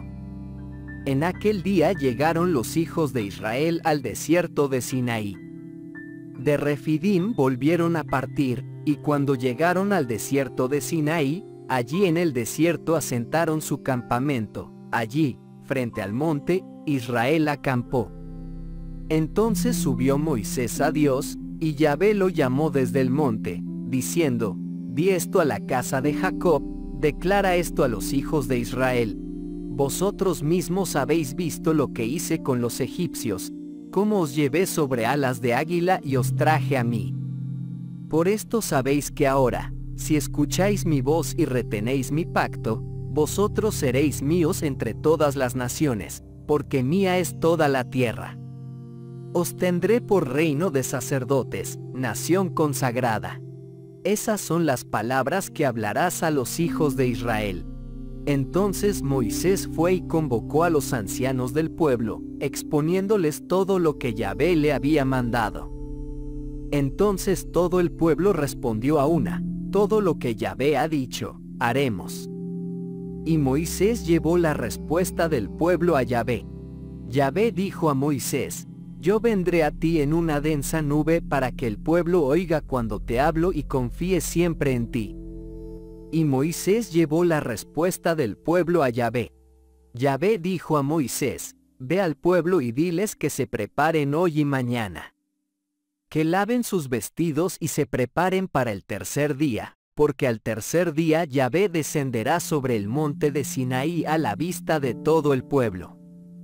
Señalarás los límites del monte y dirás, Mirad que no subáis al monte ni que toquéis el pie de él Cualquiera que toque la montaña morirá. Nadie deberá ponerle la mano encima, será apedreado o derribado con flecha, sea hombre o bestia, no debe permanecer con vida. Cuando el cuerno de carnero suene con fuerza, subirán al monte. Entonces Moisés bajó de la montaña al pueblo y les ordenó que se prepararan y lavaron su ropa. Entonces dijo al pueblo, Estad preparados para el tercer día, no te acerques a ninguna mujer. Al amanecer del tercer día, hubo truenos sobre el monte y relámpagos, una densa nube y un gran toque de trompeta, y todo el pueblo se estremeció dentro del campamento. Entonces Moisés sacó al pueblo fuera del campamento al encuentro de Dios, y se pararon al pie de la montaña. El monte de Sinaí estaba completamente envuelto en humo, porque Yahvé había descendido sobre él en forma de fuego. Como humo de un horno subió el humo, y todo el monte tembló con violencia. El sonido de la trompeta se hacía más y más fuerte. Moisés habló, y Dios le respondió con truenos. Yahvé descendió sobre el monte de Sinaí, sobre la cumbre del monte, y llamó Yahvé a Moisés a la cumbre del monte, y Moisés subió. Yahvé dijo a Moisés, desciende y advierte al pueblo que no traspasen sus límites para venir a mirar a Yahvé, no sea que muchos de ellos pierdan la vida. Los sacerdotes, los hombres que se acercan a Yahvé, también estos tienen que purificarse, no sea que Yahvé se quebrante contra ellos. Respondió Moisés a Yahvé, el pueblo no puede subir al monte de Sinaí, porque tú mismo nos lo advertiste cuando dijiste, señalad los límites del monte y declaradlo sagrado. Desciende, le dijo Yahvé, y vuelve a subir trayendo contigo a Aarón. Pero no dejéis que los sacerdotes ni el pueblo traspasen sus límites para subir a Yahvé, no sea que se desate contra ellos. Entonces Moisés descendió al pueblo y les habló. Si estás disfrutando de este contenido, únete a nuestro canal, suscríbete ahora y forma parte de nuestra comunidad. Además activa la campana de notificaciones para que te informes de lo próximo que publiquemos. Gracias por tu apoyo y compañía en este emocionante viaje espiritual. Éxodo capítulo 20. Entonces habló Dios todas estas palabras.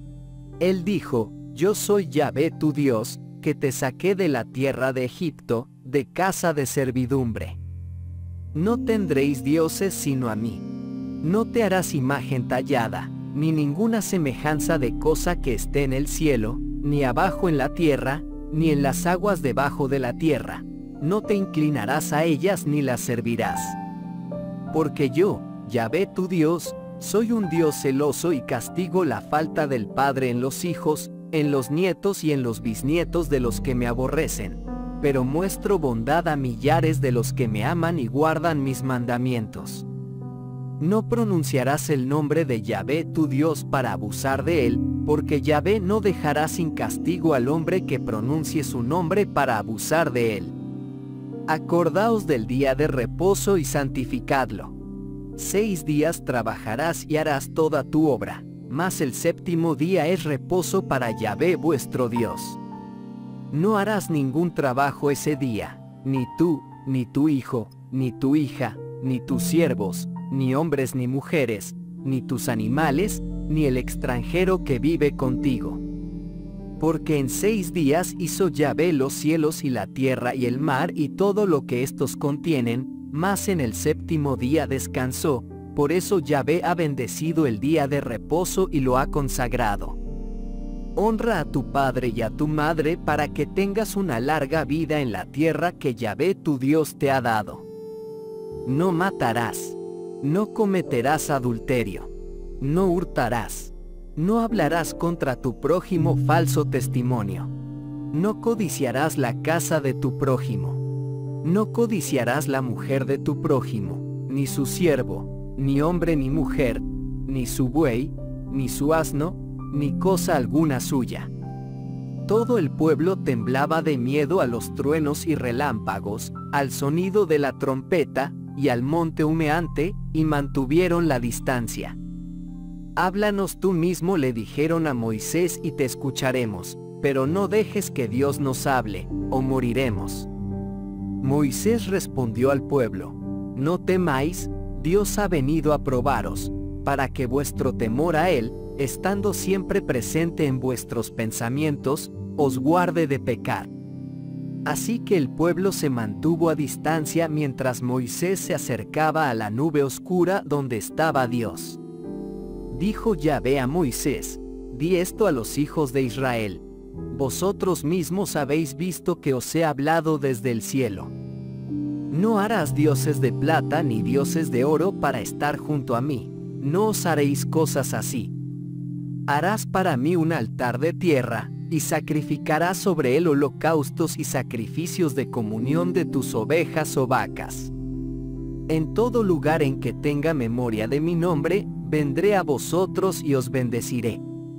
Si me haces un altar de piedra, no lo hagas con piedras labradas, porque si usas una herramienta en él, lo profanas. No subirás a mi altar por gradas, no sea que descubras tu desnudez.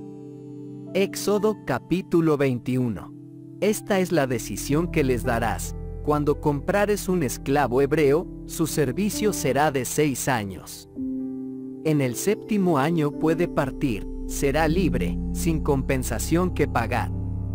Si vino soltero, se irá soltero, si vino casado, su mujer se irá con él. Si su amo le da mujer, y ella le da a luz hijos e hijas, la mujer y los hijos serán de su amo, y el hombre se marchará solo. Pero si el esclavo declara, amo a mi amo, a mi mujer y a mis hijos, renuncio a mi libertad, entonces su amo lo llevará a Dios, llevándolo a la puerta o al poste de la puerta. Su amo le horadará la oreja con un punzón y estará a su servicio para siempre. Si alguno vende a su hija como esclava, ella no recuperará su libertad como los esclavos. Si ella no agrada a su amo, que la quiso para sí, debe dejarla ser comprada de nuevo, él no tiene derecho a venderla a los extranjeros, tratándola así injustamente. Si la tuviere para su hijo, hará con ella conforme a la ley de las hijas. Si toma otra mujer, no debe menoscabar el alimento de la primera, ni su vestido, ni sus derechos conyugales. Si él la defraudare de estas tres cosas, ella podrá irse libremente, sin tener que pagar ningún dinero. Cualquiera que hiere a un hombre y le causa la muerte, debe morir. Si no lo ha puesto al acecho, sino que Dios lo ha entregado en sus manos, entonces te señalaré un lugar donde pueda refugiarse. Pero si alguno se atreviere a matar a su prójimo con intención traicionera, lo tomarás aún de mi altar para darle muerte. Cualquiera que hiere a su padre o a su madre debe morir. Cualquiera que secuestra a un hombre, ya sea que lo haya vendido o se encuentre en su posesión, debe morir. Cualquiera que maldiga al padre o a la madre debe morir. Si algunos riñeren, y el uno hiciere al otro un golpe con una piedra o con el puño, de modo que el hombre, aunque no muera, tenga que guardar su lecho, el que dio el golpe no será responsable con tal que el otro se levante y pueda andar, aunque sea con un palo. Sin embargo, debe compensarlo por su inactividad forzada y cuidarlo hasta que esté completamente curado. Si un hombre golpea a su esclavo, sea hombre o mujer, y el esclavo muere a sus manos, él deberá pagar la pena. Pero si el esclavo sobrevive uno o dos días, no pagará ninguna pena, porque el esclavo es suyo por derecho de compra. Si cuando los hombres llegan a las manos, hieren a una mujer que está encinta y ella sufre un aborto, aunque no muera de él, el hombre responsable deberá pagar la compensación que le demande el amo de la mujer, lo entregará, previo arbitraje. Mas si ella muriere, daréis vida por vida, ojo por ojo, diente por diente, mano por mano, pie por pie, quemadura por quemadura, herida por herida, golpe por golpe. Cuando un hombre hiere el ojo de su esclavo, sea hombre o mujer, y destruye el uso de él, debe darle su libertad para compensar el ojo. Si le arranca un diente a su esclavo, sea hombre o mujer, debe darle su libertad para compensar el diente. Cuando un buey acorneare a un hombre o a una mujer hasta la muerte, el buey será apedreado. Su carne no se comerá, y el dueño del buey no será responsable. Pero si el buey ha tenido antes la costumbre de acornear, y si su dueño fue advertido, pero no lo reprimió, entonces si este buey matare a un hombre o a una mujer, el buey será apedreado y su dueño condenado. Muerte. Si se le impone un rescate, deberá pagar lo que se le imponga para redimir su vida. Si el buey acorneare a un niño o a una niña, será tratado conforme a esta misma regla. Si el buey acorneare a un esclavo, sea macho o hembra, el dueño deberá pagar a su señor 30 ciclos de dinero, y el buey será apedreado. Cuando alguno dejare un pozo descubierto, o cuando cavare uno, y no lo tapare, si cayere en él un buey o un asno, entonces el dueño de la cisterna compensará la pérdida. Deberá pagar dinero a su dueño, y el animal muerto será suyo. Si el buey de uno hiciere daño al buey de otro y éste muriere, los dueños deberán vender el buey vivo y compartir su precio, también compartirán el animal muerto. Pero si es notorio que el buey ha tenido antes la costumbre de acornear, y su dueño no la ha controlado, deberá pagar buey por buey, el animal muerto será suyo. Si alguno robare un buey o una oveja, y luego lo degollare o vendiere, pagará cinco bueyes por el buey, y cuatro ovejas por la oveja. Éxodo capítulo 22. Si un ladrón es sorprendido forzando una entrada y recibe un golpe mortal, no habrá venganza de sangre para él, pero habrá venganza de sangre para él si fue después del amanecer. Debe hacerse la restitución total, si no tiene los medios, debe ser vendido para pagar lo que ha robado. Si el animal robado fuere hallado vivo en su poder, sea buey, asno u oveja, pagará el doble. Cuando alguno saque sus animales a pastar en un campo o en una viña, y deje que sus bestias pasen en campo ajeno, deberá restituir la parte del campo que haya apacentado en proporción a su rendimiento. Pero si ha dejado pastar todo el campo, debe restituir en proporción a la mejor cosecha registrada en el campo o en la viña del perjudicado. Cuando se propaga un fuego que prende fuego a los arbustos espinosos y destruye el maíz amontonado o en pie o el campo mismo, el hombre responsable del fuego debe hacer una restitución total. Cuando un hombre ha confiado dinero o bienes a la custodia de otro, y estos son robados de su casa, el ladrón, si puede ser sorprendido, deberá pagar el doble. Si el ladrón no fuere apresado, el dueño de la casa debe jurar ante Dios que no ha puesto sus manos sobre la propiedad del otro hombre.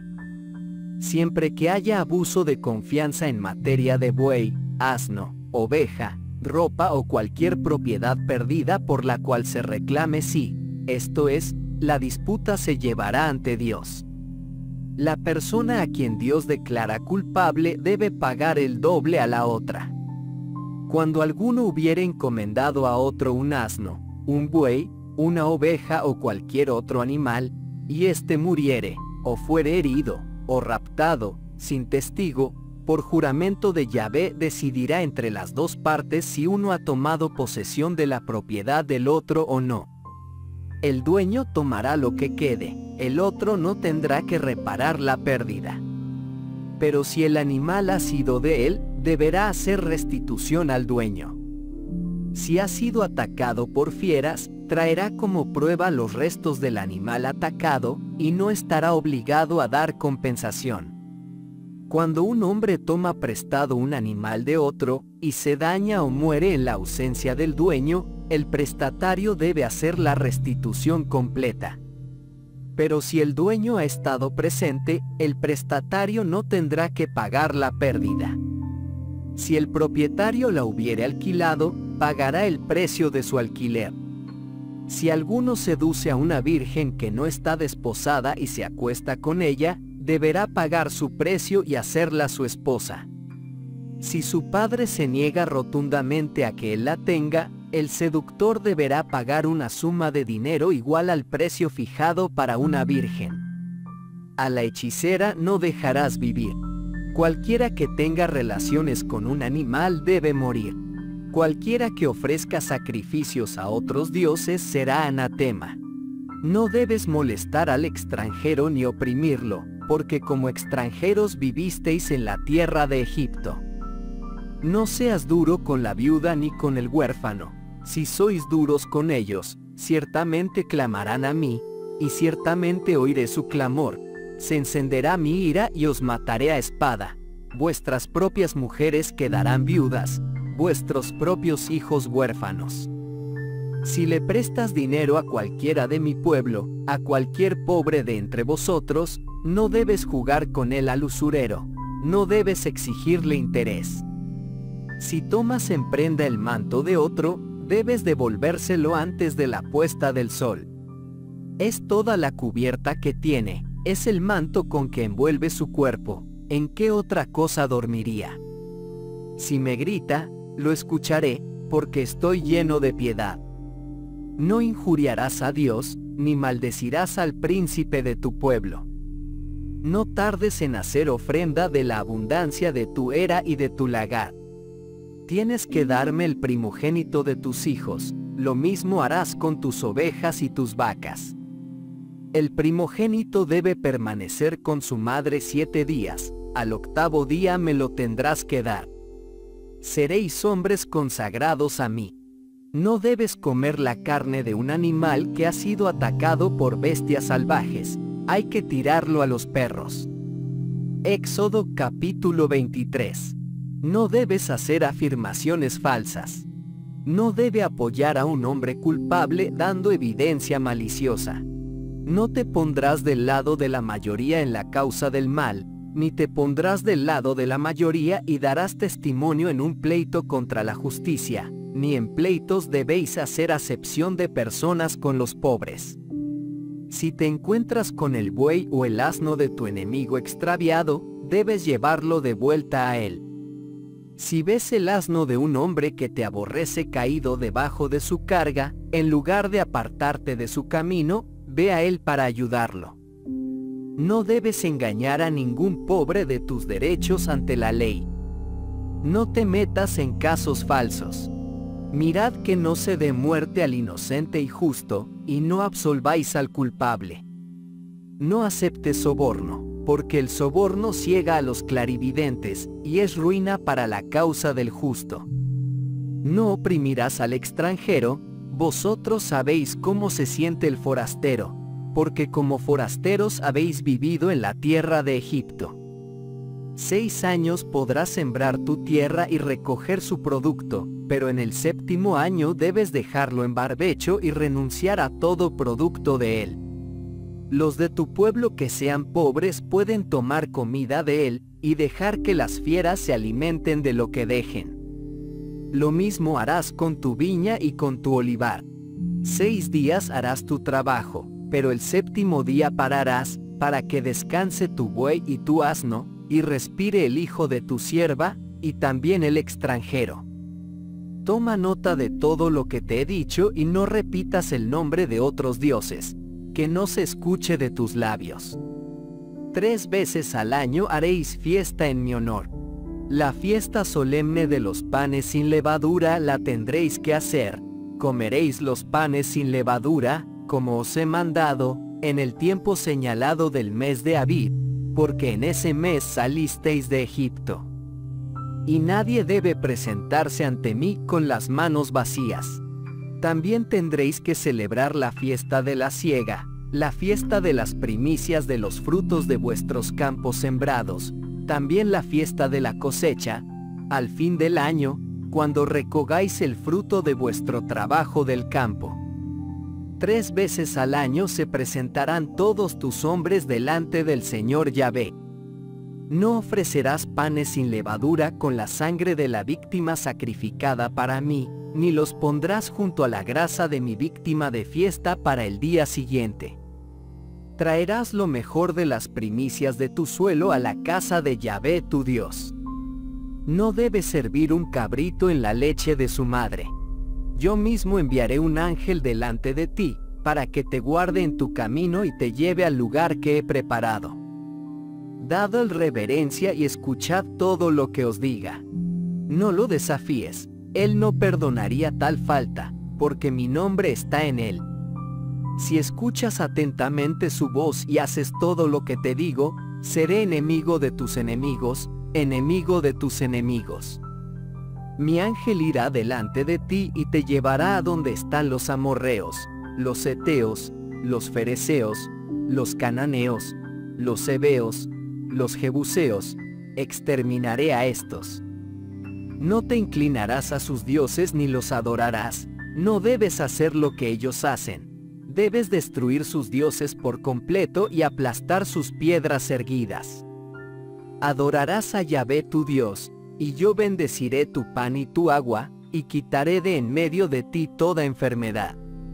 En tu tierra ninguna mujer abortará, ninguna será estéril. Te daré el término completo de tu vida. Sembraré pánico delante de ti, confundiré a todas las personas con las que te encuentres, haré que todos tus enemigos se vuelvan y huyan de ti. Enviaré avispas delante de ti para echar de tu presencia al Ebeo, al Cananeo y al Eteo. No los expulsaré de delante de vosotros en un solo año, no sea que la tierra se convierta en un desierto donde, a vuestra costa, se multipliquen las fieras. Poco a poco los echaré de delante de vosotros hasta que crezca vuestro número y toméis posesión de la tierra. Fijaré por tus fronteras el mar de juncos y el mar de los filisteos, el desierto y el río. Sí, entregaré en tus manos a los habitantes de la tierra, y tú los expulsarás de delante de ti. No harás pacto con ellos ni con sus dioses. No habiten en vuestra tierra no sea que os hagan pecar contra mí, vendrías a adorar a sus dioses, y eso sería una verdadera trampa para ti. Éxodo capítulo 24. A Moisés le había dicho, sube a Yahvé, tú y Aarón, Nadab y Abiú, y setenta de los ancianos de Israel, e inclínate a la distancia. Solo Moisés se acercará a Yahvé, los otros no deben, ni la gente debe subir con él. Fue Moisés y contó al pueblo todos los mandamientos de Yahvé y todas las leyes. En respuesta, todo el pueblo dijo a una voz, observaremos todos los mandamientos que Yahvé ha decretado. Moisés puso por escrito todos los mandamientos de Yahvé, y muy de mañana edificó un altar al pie del monte, con doce pilares para las doce tribus de Israel. Entonces ordenó a algunos jóvenes israelitas que ofrecieran holocaustos e inmolaran becerros a Yahvé como sacrificios de comunión. Moisés tomó la mitad de la sangre y la echó en vasijas, y la otra mitad la echó sobre el altar.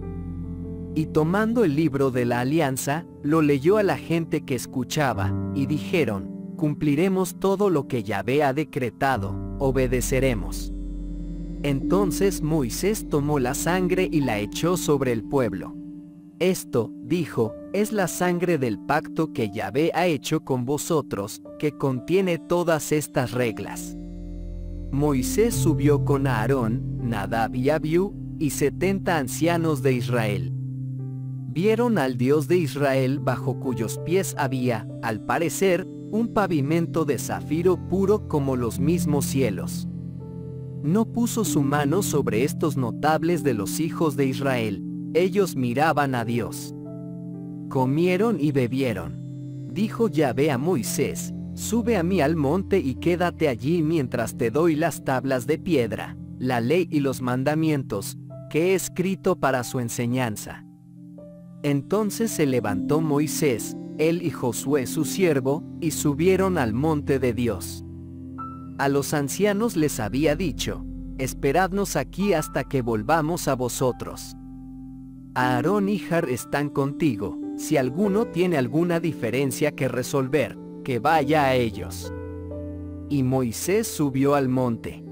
La nube cubrió la montaña, y la gloria de Yahvé se posó sobre el monte de Sinaí, durante seis días la nube lo cubrió, y al séptimo día Yahvé llamó a Moisés desde dentro de la nube. A los ojos de los hijos de Israel, la gloria de Yahvé parecía como fuego consumidor en la cumbre del monte. Moisés subió directamente a la nube. Subió al monte y se quedó allí cuarenta días y cuarenta noches. Éxodo capítulo 25. Habló Yahvé a Moisés, y dijo, Di a los hijos de Israel que aparten una ofrenda para mí, aceptarás esta contribución de todo hombre cuyo corazón lo impulse a darla. Recibirás de ellos las siguientes ofrendas, oro, plata y bronce, telas de púrpura, de tonalidad de violeta y carmesí, telas de carmesí, lino fino, pelo de cabra, pieles de carnero teñidas de rojo, cuero fino, madera de acacia, aceite para las lámparas, especias aromáticas para el crisma y para el incienso aromático, piedras de ónice y gemas para ser engastadas en efod y pectoral. Edificadme un santuario para que yo habite entre ellos. Al hacer el tabernáculo y sus accesorios, debes seguir exactamente el modelo que te mostraré. Me harás un arca de madera de acacia, de dos codos y medio de largo, codo y medio de ancho, codo y medio de alto. Lo revestirás de oro puro por dentro y por fuera, y lo adornarás todo alrededor con una moldura de oro.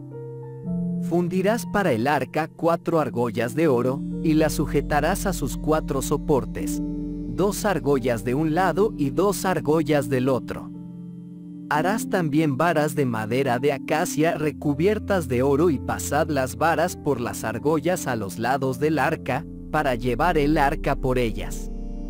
Las varas deben permanecer en los anillos del arca y no ser retiradas.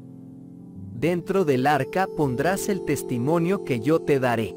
También harás un trono de misericordia, de oro puro, de dos codos y medio de largo, y codo y medio de ancho.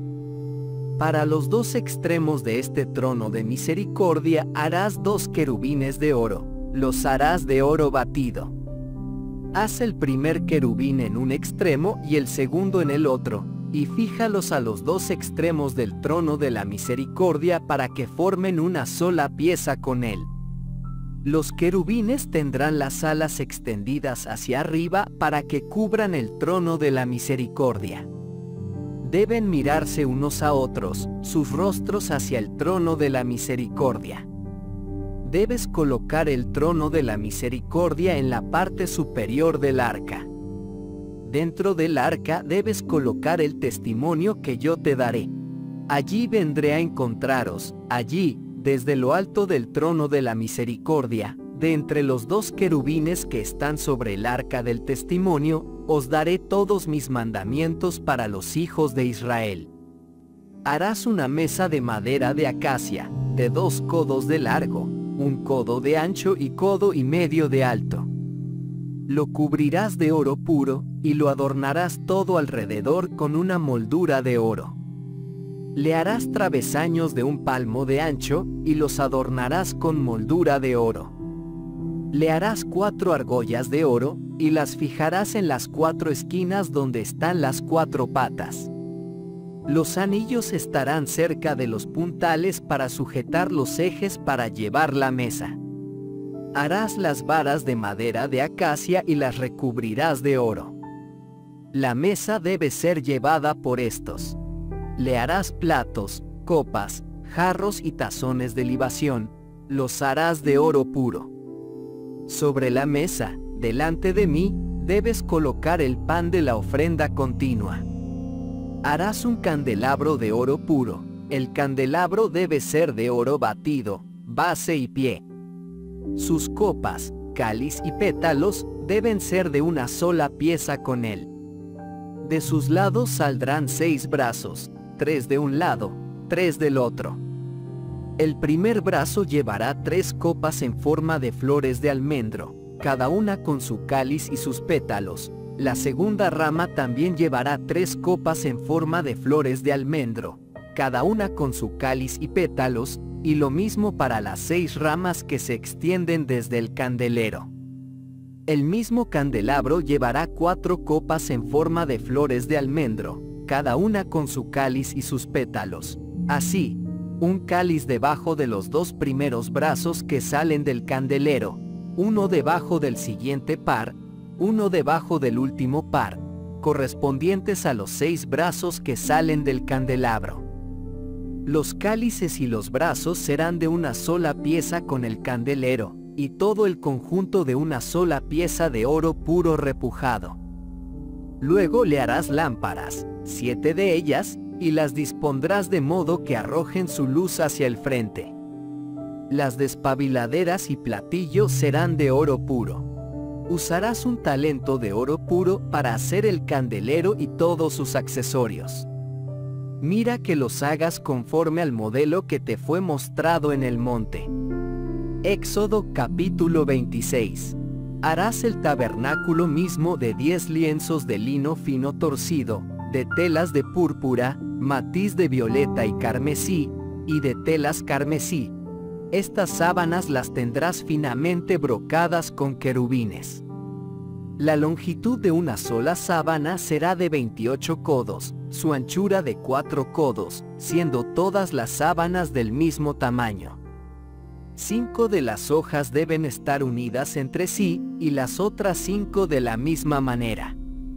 En el borde de la última sábana de un juego, harás lazos de tela violeta, y harás lo mismo con el borde de la última sábana en el otro juego. Y pondrás 50 lazadas en la primera sábana, y uniéndolas una a una, 50 lazadas en el borde de la última sábana del segundo juego y hará 50 broches de oro para juntar las lonas. De esta manera el tabernáculo será un todo unificado. Harás también telas de pelo de cabra para hacer una tienda sobre el tabernáculo. Harás 11 de estos. La longitud de una sola sábana será de 30 codos, su anchura de cuatro codos, las once sábanas serán todas del mismo tamaño. Juntarás cinco de estas hojas en un juego, y las seis restantes en otro, el sexto lo doblarás en dos sobre el frente de la tienda. Y harás cincuenta lazadas en el borde de la última sábana de un juego, y harás lo mismo con el borde de la última sábana en el segundo juego. Y harás cincuenta broches de bronce y los pondrás en los lazos, para juntar la tienda y hacerla un todo unificado. Como sobrará una lona de la tienda, la mitad de esta lona sobrante colgará sobre la parte trasera del tabernáculo. El codo sobrante a cada lado a lo largo de las lonas de la tienda colgará sobre los lados del tabernáculo para cubrirlo. Harás además para la tienda una cubierta de pieles de carneros teñidas de rojo y una cubierta de cuero fino para cubrirla. Harás marcos de madera de acacia para el tabernáculo, estos se mantendrán en posición vertical. Cada marco será de 10 codos de largo y codo y medio de ancho. Cada armazón debe tener dos espigas gemelas. Para todos los marcos del tabernáculo debes hacer esto. Harás las tablas del tabernáculo, 20 tablas para el lado sur, mirando hacia la tierra del sur. Y harás 40 basas de plata para poner debajo los 20 marcos de esta manera. Dos basas debajo del primer marco para recibir sus dos espigas, y así sucesivamente para los otros marcos. El otro lado del tabernáculo, al norte, tendrá 20 tablones sostenida por 40 basas de plata, dos basas debajo de cada marco. Para la parte trasera del tabernáculo, al oeste, harás seis tablas. Harás dos marcos para las esquinas en la parte trasera del tabernáculo. Estos marcos se unirán en su extremo inferior y así en la parte superior, hasta el nivel del primer anillo, esto por los dos marcos que han de formar las dos esquinas. Serán, pues, ocho tablas con sus 16 basas de plata dos basas debajo de la primera tabla y así sucesivamente. Harás travesaños de madera de acacia, cinco para sujetar los marcos de un lado del tabernáculo, cinco para sostener las tablas del otro lado del tabernáculo, y cinco para sostener las tablas que forman el extremo occidental del tabernáculo. La barra del medio, fijada a la mitad, correrá de un extremo al otro. Los marcos serán revestidos de oro, y con anillos de oro sobre ellos para llevar las crucetas que revestiréis de oro. Así levantarás el tabernáculo conforme al modelo que te fue mostrado en el monte. Harás un velo de telas de púrpura, tono violeta y rojo, de telas carmesí y de lino fino torcido. Lo harás bordar finamente con querubines. Lo colgarás de cuatro postes de madera de acacia recubierta de oro y adornados con ganchos de oro y engastados en cuatro basas de plata. De las hebillas colgarás el velo, y allí detrás del velo colocarás el arca del testimonio, y el velo te servirá para separar el lugar santo del lugar santísimo. Pondrás el trono de la misericordia encima del arca dentro del lugar santísimo Pondrás la mesa fuera del velo, y el candelabro al lado sur del tabernáculo, enfrente de la mesa. Debes poner la mesa en el lado norte. Para la entrada de la tienda harás una cortina de telas de púrpura, tinte de violeta y carmesí, y de telas de carmesí y lino torcido, obra de diestro bordador. Para esta pantalla harás cinco postes de madera de acacia cubiertos de oro, con ganchos de oro, para estos fundirás cinco basas de bronce. Éxodo capítulo 27. Harás el altar de madera de acacia, un cuadrado de cinco codos de largo y cinco codos de ancho, y su altura será de tres codos. En sus cuatro esquinas le pondrás cuernos. Los cuernos serán de una sola pieza con él, revestido de bronce. Para el altar harás tazones para las cenizas de la grasa, palas, tazones, garfios, braseros, tienes que hacer todos los utensilios para el altar de bronce. También le harás un enrejado de malla de bronce, y en sus cuatro esquinas fijarás cuatro anillos de bronce. Esta rejilla la pondrás debajo de la cornisa del altar, abajo, de modo que llegue a la mitad del altar. Y para el altar harás columnas de madera de acacia y las recubrirás de bronce. Estos se pasarán por las argollas, de modo que estén a ambos lados del altar cuando se lleve. El altar harás hueco, de tablas, lo harás de la manera que te fue mostrada en el monte. Harás el atrio del tabernáculo. Mirando hacia el sur, en el lado sur, las cortinas del atrio serán de lino fino torcido, de 100 codos de largo por un lado. Sus 20 postes de bronce serán engastados en 20 basas de bronce, y sus ganchos y varillas de plata. Así también en el lado norte habrá cortinas de 100 codos de largo, y 20 postes colocados en 20 basas de bronce, con sus ganchos y varillas de plata. A lo ancho del atrio, en el lado occidental, habrá 50 codos de cortinas, colocadas sobre 10 postes colocados en 10 basas. La anchura del atrio por el lado oriental, de cara al sol, será de 50 codos. A un lado de la entrada habrá 15 codos de cortinas, sobre tres postes colocados en tres basas. Al otro lado de la entrada habrá también 15 codos de cortinas, colocada sobre tres postes colocados en tres basas. La puerta del atrio será una cortina de 20 codos de ancho, de telas de púrpura, tinte de violeta y rojo, de telas de carmesí y lino torcido, obra de diestro bordador, sostenida sobre cuatro postes colocados en sus cuatro enchufes, todos los postes que rodean el atrio estarán conectados con varillas de plata, sus ganchos serán de plata, sus basas de bronce. La longitud del atrio será de 100 codos, su anchura de 50 codos y su altura de 5 codos. Todas las cortinas serán de lino fino torcido y sus basas de bronce. Todos los utensilios para cualquier uso en el tabernáculo, todas las estacas de él y del atrio, serán de bronce. Y mandarás a los hijos de Israel que te traigan aceite puro de oliva para el alumbrado, y que tengan allí una llama encendida perpetuamente.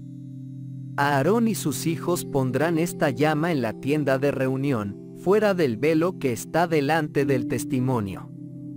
Debe arder allí delante de Yahvé desde la tarde hasta la mañana perpetuamente. Esta es una ordenanza irrevocable para sus descendientes, para ser observada por los hijos de Israel. Éxodo capítulo 28. De entre los hijos de Israel llama a tu hermano Aarón y a sus hijos para que sean sacerdotes a mi servicio. Aarón, Nadab y Abiú, Eleazar e Itamar, hijos de Aarón harás para tu hermano Aarón vestiduras sagradas, para darle dignidad y magnificencia. Instruirás a todos los mejores artífices, cuya habilidad les he dado, para que hagan las vestiduras de Aarón para su consagración a mi sacerdocio. Estas son las vestiduras que deben hacer, pectoral, efod, manto, túnica bordada, mitra y cinto ellos harán vestiduras sagradas para que tu hermano Aarón y sus hijos sean sacerdotes a mi servicio. Usarán oro, telas de púrpura, telas de violeta y rojo, telas de carmesí y lino fino torcido. Y harán el efod de oro, telas de púrpura, matiz de violeta y carmesí, telas de carmesí y lino fino torcido, obra de diestro bordador debe tener puestas dos correas para los hombros para unir sus dos extremos. El cinto que lo sostenga será de la misma hechura, y formará una sola pieza con él, será de oro, telas de púrpura, violeta y carmesí, telas carmesí y lino fino torcido. Tomarás entonces dos piedras de onice y las grabarás con los nombres de los hijos de Israel, seis de sus nombres en una piedra, y los seis restantes en la otra, en el orden de su nacimiento. Con arte de joyero, de grabador de sellos, harás grabar las dos piedras con los nombres de los hijos de Israel, y engastelas en engastes de malla de oro. Y pondrás las dos piedras en memoria de los hijos de Israel en las sombreras del ephod. Así llevará a Aarón sus nombres sobre sus hombros delante de Yahvé, para conmemorarlos. Harás también rosetones de oro, y dos cadenas de oro puro retorcidas a modo de cuerda. Usted debe adjuntar estas cuerdas como harás también el pectoral del juicio, de brocado fino, de la misma hechura que el efod. Lo harás de oro, telas de púrpura, violeta y rojo, telas de carmesí y lino fino torcido. Será cuadrado y doblado, de un palmo de largo y un palmo de ancho. En esto pondrás cuatro hileras de piedras. Sarda, topacio, carbunco, para la primera fila, esmeralda, zafiro, diamante la segunda fila, la tercera fila, jacinto, rubí, amatista, la cuarta fila, berilo, ónice, jaspe. Estos deben montarse en monturas de oro. Llevarán los nombres de los hijos de Israel, y en número de doce, conforme a los nombres que estén en ellos. Se grabarán como sellos, cada uno con el nombre de una de las doce tribus. Para el pectoral harás cadenas de oro puro retorcidas como cuerdas. Para el pectoral debes hacer dos anillos de oro y fijarlos en sus dos esquinas superiores. Atarás los dos cordones de oro a las dos argollas fijadas en las esquinas del pectoral. Los otros dos extremos de las cuerdas los sujetarás a los dos rosetones, para que queden unidos a las sombreras del efod, por delante. Harás dos anillos de oro y los pondrás en los dos ángulos inferiores del pectoral, en el borde interior, junto al efod. Harás otros dos anillos de oro, y los pondrás en la parte baja de la parte delantera de las dos sombreras del efod, cerca de la juntura, por encima del cinto del efod. Y asegurarás el pectoral pasando una cinta de violeta púrpura por sus anillos y los del efod, para que el pectoral quede sobre el cinto tejido y no se separe del efod. Y con el pectoral del juicio, cuando Aarón entre en el santuario, llevará sobre su pecho los nombres de los hijos de Israel, para recordarlos continuamente en la presencia de Yahvé. Al pectoral del juicio añadirás el Urim y el Tumim, para que los tenga Aarón sobre su pecho cuando vaya a la presencia de Yahvé. Así en la presencia de Yahvé Aarón llevará continuamente sobre su pecho el oráculo de los hijos de Israel. Harás el manto del efod todo de púrpura violeta. En el centro debe tener una abertura para la cabeza. La abertura debe tener alrededor un borde tejido como el cuello de una cota de malla para que la túnica no se rompa.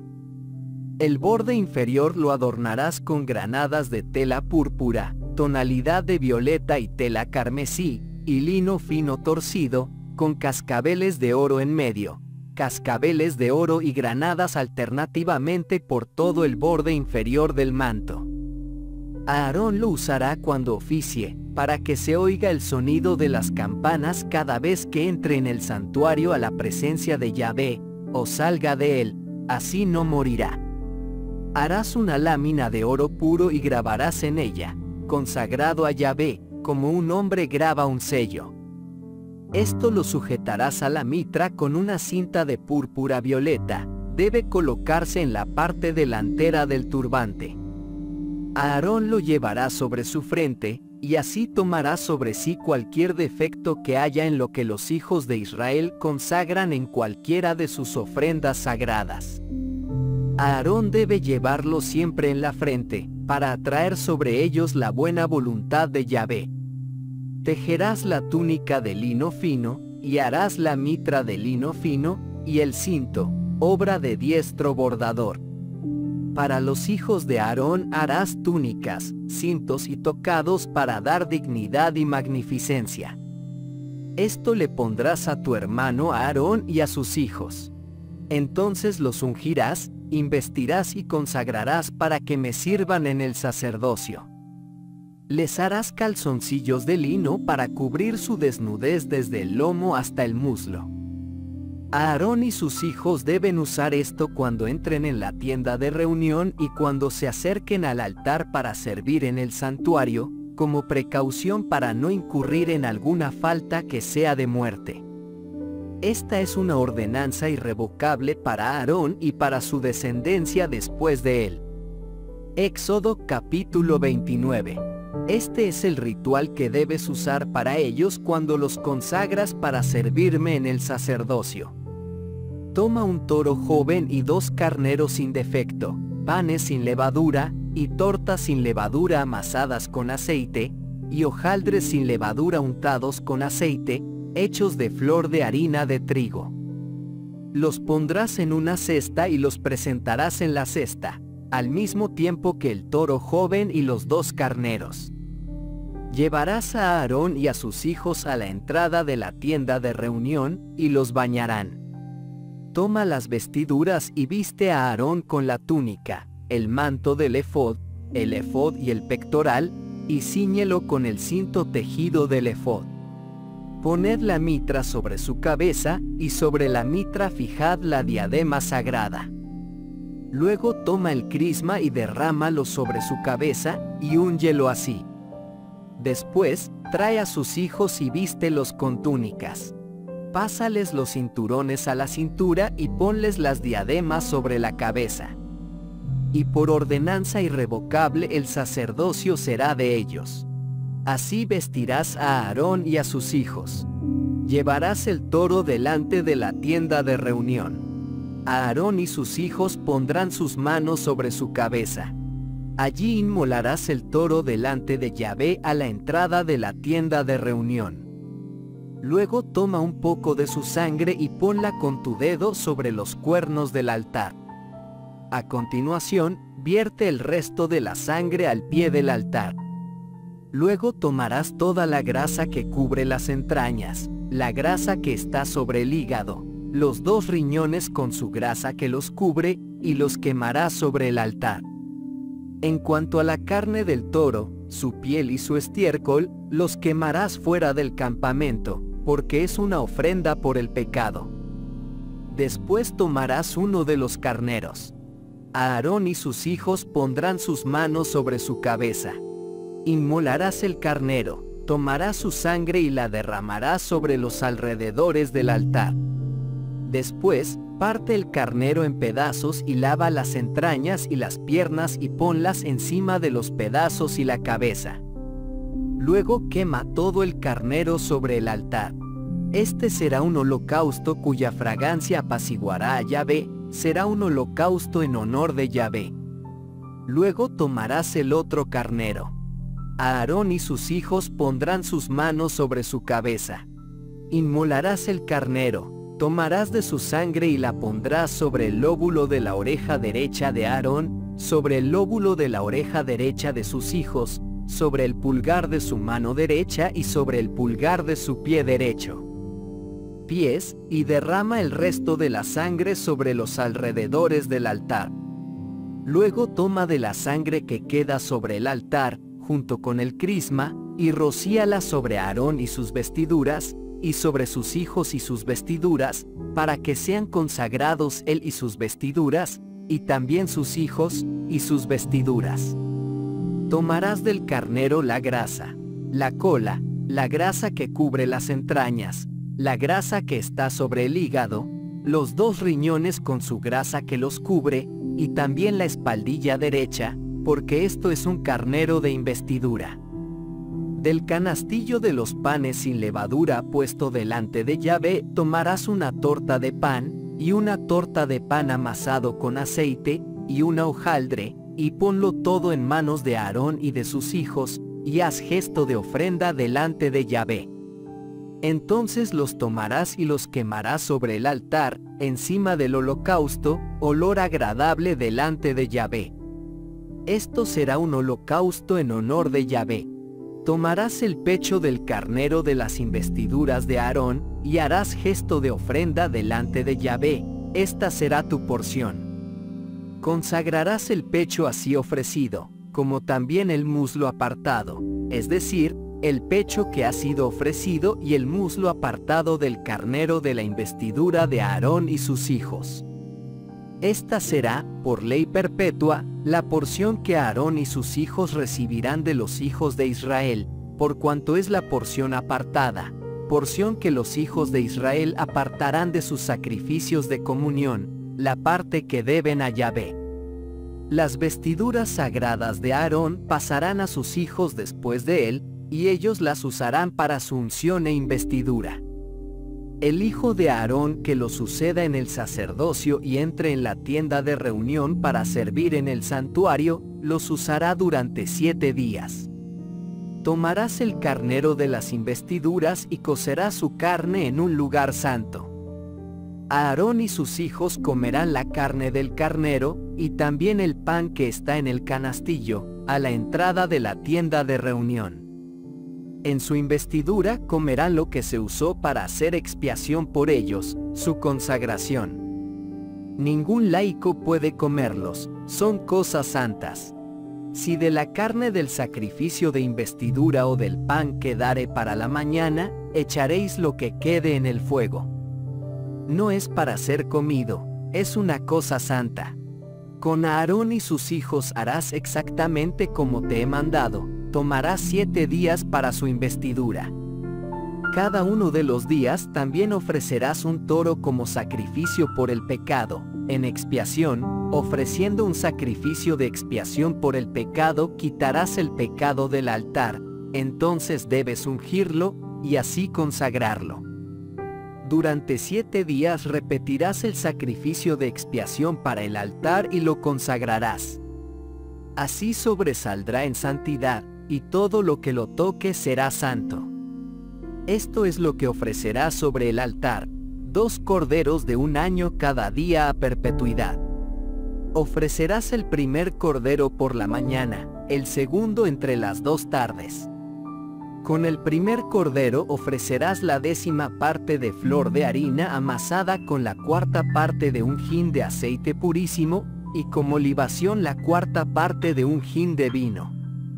El segundo cordero lo ofrecerás entre las dos tardes. Haced esto con la misma ofrenda y con la misma libación que por la mañana, como olor grato, holocausto en honor de Yahvé. Este será un holocausto perpetuo de generación en generación, a la entrada de la tienda de reunión en la presencia de Yahvé, ahí es donde te encontraré y te hablaré. Me reuniré con los hijos de Israel en el lugar consagrado por mi gloria consagraré la tienda de reunión y el altar. También consagraré a Aarón y a sus hijos para que sean sacerdotes a mi servicio. Yo me quedaré con los hijos de Israel, y seré su Dios. Y sabrán que soy yo, Yahvé su Dios, que los saqué de la tierra de Egipto para habitar entre ellos. Yo Yahvé su Dios. Si estás disfrutando de este contenido, únete a nuestro canal, suscríbete ahora y forma parte de nuestra comunidad. Además activa la campana de notificaciones para que te informes de lo próximo que publiquemos. Gracias por tu apoyo y compañía en este emocionante viaje espiritual. Éxodo capítulo 30. Harás un altar sobre el cual quemar incienso, lo harás de madera de acacia será de un codo de largo, y de un codo de ancho, es decir, cuadrado, y de altura de dos codos, sus cuernos serán de una sola pieza con él. Su parte superior, sus lados circundantes y sus cuernos serán revestidos de oro puro y adornados con una moldura de oro alrededor. Y le pondrás dos argollas de oro debajo de la moldura en sus dos lados opuestos, estas serán para llevar las varas con que se lleva. Harás estas varas de madera de acacia y las enchaparás en oro. Y levantarás el altar delante del velo que está delante del arca del testimonio, enfrente del trono de misericordia que cubre el testimonio, el lugar señalado para mi encuentro con vosotros. Allí Aarón tiene que quemar incienso fragante cada mañana cuando arregla las lámparas, y entre las dos tardes, cuando Aarón vuelva a poner las lámparas, tiene que encenderlas de nuevo. Estas ofrendas de incienso las tendréis que hacer delante de Yahvé infaliblemente de generación en generación. No ofrecerás sobre él incienso profano, ni holocausto, ni oblación, y no debes derramar libación sobre él. Una vez al año hará Aarón el rito de la expiación sobre los cuernos del altar, con la sangre del sacrificio ofrecido por el pecado hará el rito de la expiación una vez al año. Y tú harás lo mismo en las generaciones venideras. Este altar de suprema santidad debe ser consagrado a Yahvé. Habló Yahvé a Moisés, y dijo, Cuando hagas un censo y hagas un registro de los hijos de Israel, cada uno pagará a Yahvé el rescate de su vida, para que no venga sobre ellos ninguna plaga cuando se haga el censo. Todo el que esté censado pagará medio ciclo, según el ciclo del santuario, que es 20 jeras, y este medio ciclo se apartará para Yahvé. Todo el que esté censado, es decir, de 20 años arriba, deberá pagar la suma reservada para Yahvé. El rico no dará más, ni el pobre menos, que medio ciclo en pago de la suma reservada para Yahvé, en rescate por vuestras vidas. El dinero del rescate que te dieron los hijos de Israel lo destinarás al servicio de la tienda de reunión. Ella recordará a Yahvé de los hijos de Israel y será el rescate por vuestras vidas. Habló Yahvé a Moisés, y dijo, harás también una palangana de bronce sobre un pedestal, para alabarte. Debes colocarlo entre la tienda de reunión y el altar y ponerle agua. En esto Aarón y sus hijos se lavarán las manos y los pies. Cuando hayan de entrar en la tienda de reunión, se lavarán con agua por temor de que mueran, y cuando tengan que acercarse al altar para su servicio, para quemar la ofrenda quemada en honor de Yahvé. Deben lavarse las manos y los pies por temor a morir. Esta es una ordenanza duradera para ellos, para Aarón y su descendencia de generación en generación. Habló Yahvé a Moisés, y dijo, Tomad las especias más selectas, de mirra líquida, 500 ciclos, la mitad de este peso de canela aromática, es decir, 250 ciclos, y de caña aromática, 250 ciclos, de casia, 500 ciclos, contado según el ciclo del santuario, y un hin de aceite de oliva. Harás con ellos un santo crisma, como la mezcla que hace el perfumista, debe ser un santo crisma. Con ella ungirás la tienda de reunión y el arca del testimonio, la mesa y todos sus utensilios, el candelero y todos sus accesorios, el altar del incienso, el altar del holocausto con todos sus utensilios, y la pila con su base. A estos los consagrarás. Así sobresaldrán en santidad, y todo lo que los toque será santo. También ungirás a Aarón y a sus hijos, y los consagrarás, para que sean sacerdotes a mi servicio. Entonces dirás esto a los hijos de Israel, tendréis por santo este crisma de generación en generación no se derramará sobre los cuerpos de los hombres comunes, ni se hará otra de la misma mezcla. Es una cosa santa, debes considerarlo santo. Cualquiera que copie su composición o la use en un laico será proscrito de su pueblo. Yahvé dijo a Moisés, toma especias aromáticas, estoraque, uña, gálbano, especias aromáticas e incienso puro en partes iguales, y prepara un incienso, una mezcla como la que hace el perfumista, salado, puro y santo. Triturad una parte de él hasta que quede polvo fino, y ponedlo delante del testimonio en la tienda de reunión, el lugar señalado para mis encuentros con vosotros. Debes considerarlo como santísimo. No harás ningún incienso de composición similar para tu propio uso debes considerarlo como una cosa santa, reservada para Yahvé. Éxodo capítulo 31. Habló Yahvé a Moisés, y dijo, He aquí, he escogido a Besalel hijo de Uri, hijo de Har, de la tribu de Judá. Lo he llenado del Espíritu de Dios y lo he dotado de habilidad, percepción y conocimiento para toda clase de oficios, para el arte de diseñar y trabajar en oro, plata y bronce, para cortar piedras para engastar, para tallar en madera, para toda clase de artesanía. Aquí y ahora le doy por compañero a Oliab hijo de Aisamac, de la tribu de Dan, y a todos los hombres que tienen habilidad les he dado más, para que cumplan todo lo que les he mandado.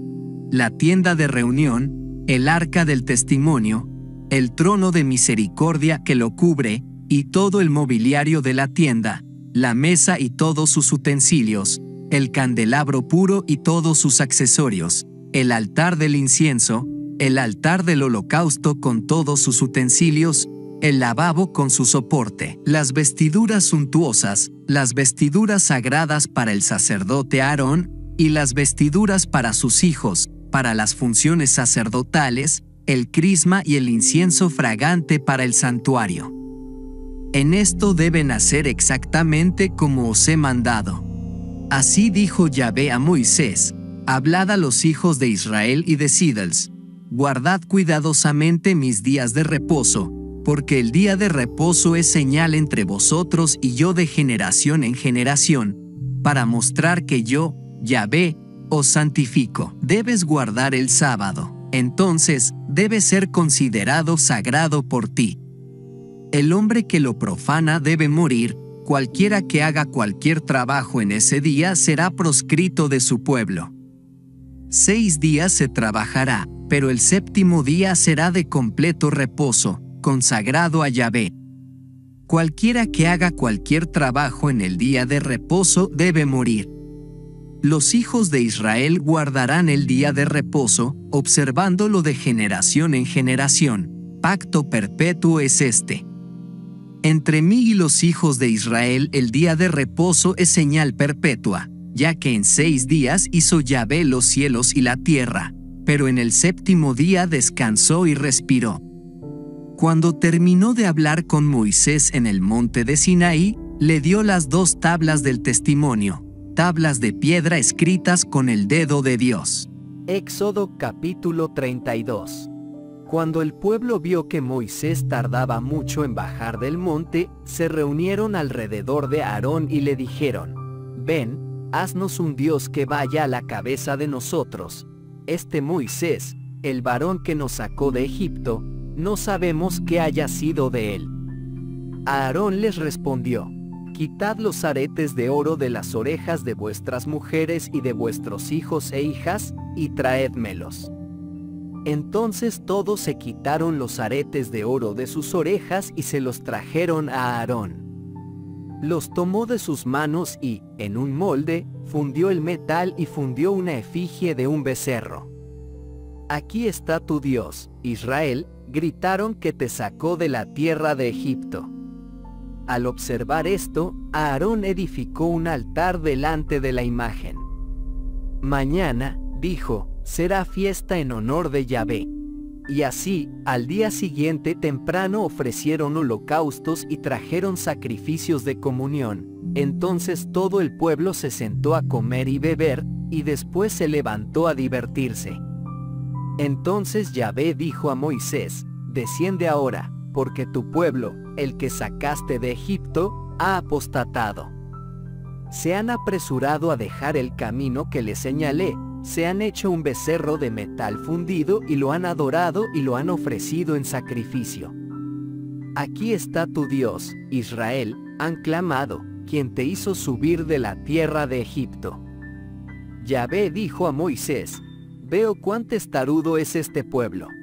Déjame ahora, mi furor se encenderá contra ellos y los consumirá. De ti, sin embargo, haré una gran nación. Pero Moisés rogó a Yahvé su Dios.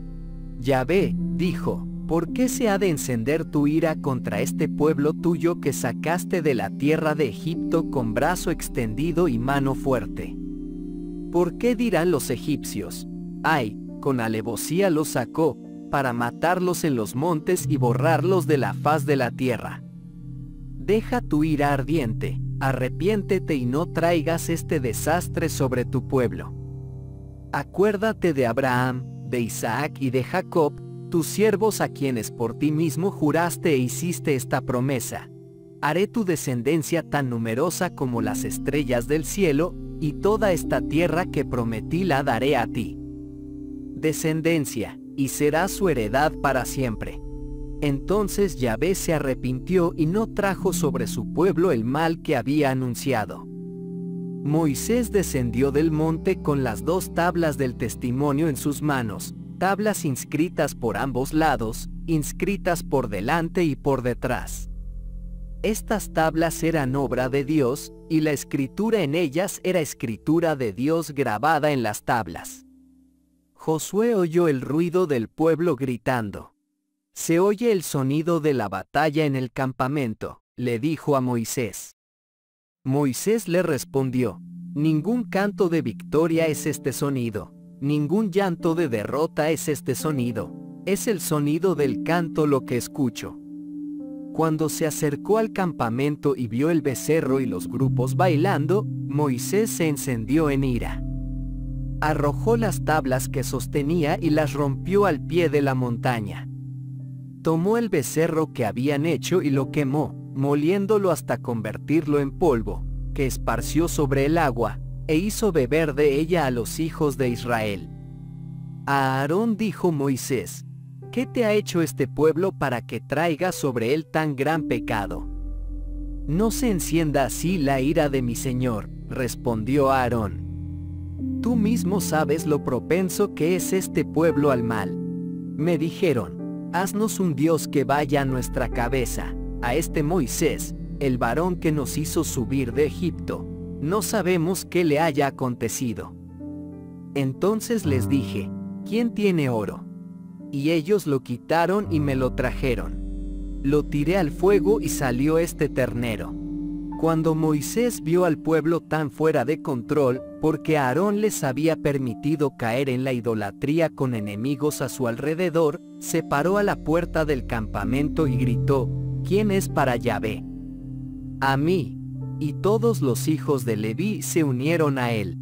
Y les dijo, este es el mensaje de Yahvé, Dios de Israel, ciñanse cada uno su espada, y cuartin el campamento de puerta a puerta, matando uno a su hermano, otro a su amigo, otro su prójimo.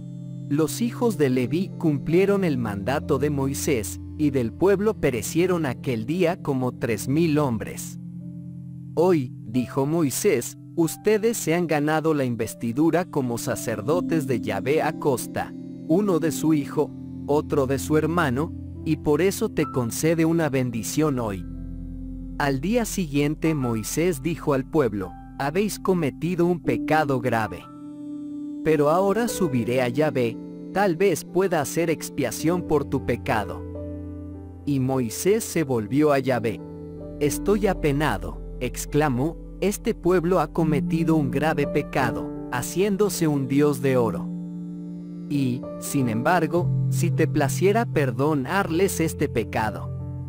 Pero si no, bórrame del libro que has escrito. Respondió Yahvé a Moisés, al hombre que peque contra mí, yo lo borraré de mi libro. Ve ahora, lleva al pueblo al lugar que te dije mi ángel irá delante de ti, pero, en el día de mi visitación, los castigaré por su pecado. Y Yahvé castigó al pueblo por haber moldeado el becerro que había hecho a Aarón. Éxodo capítulo 33.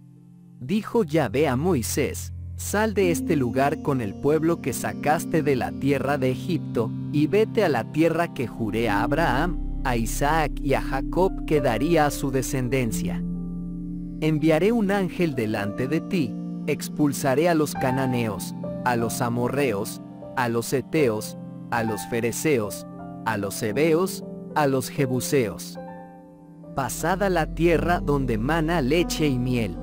No os acompañaré yo mismo, sois un pueblo testarudo, o podría exterminaros en el camino.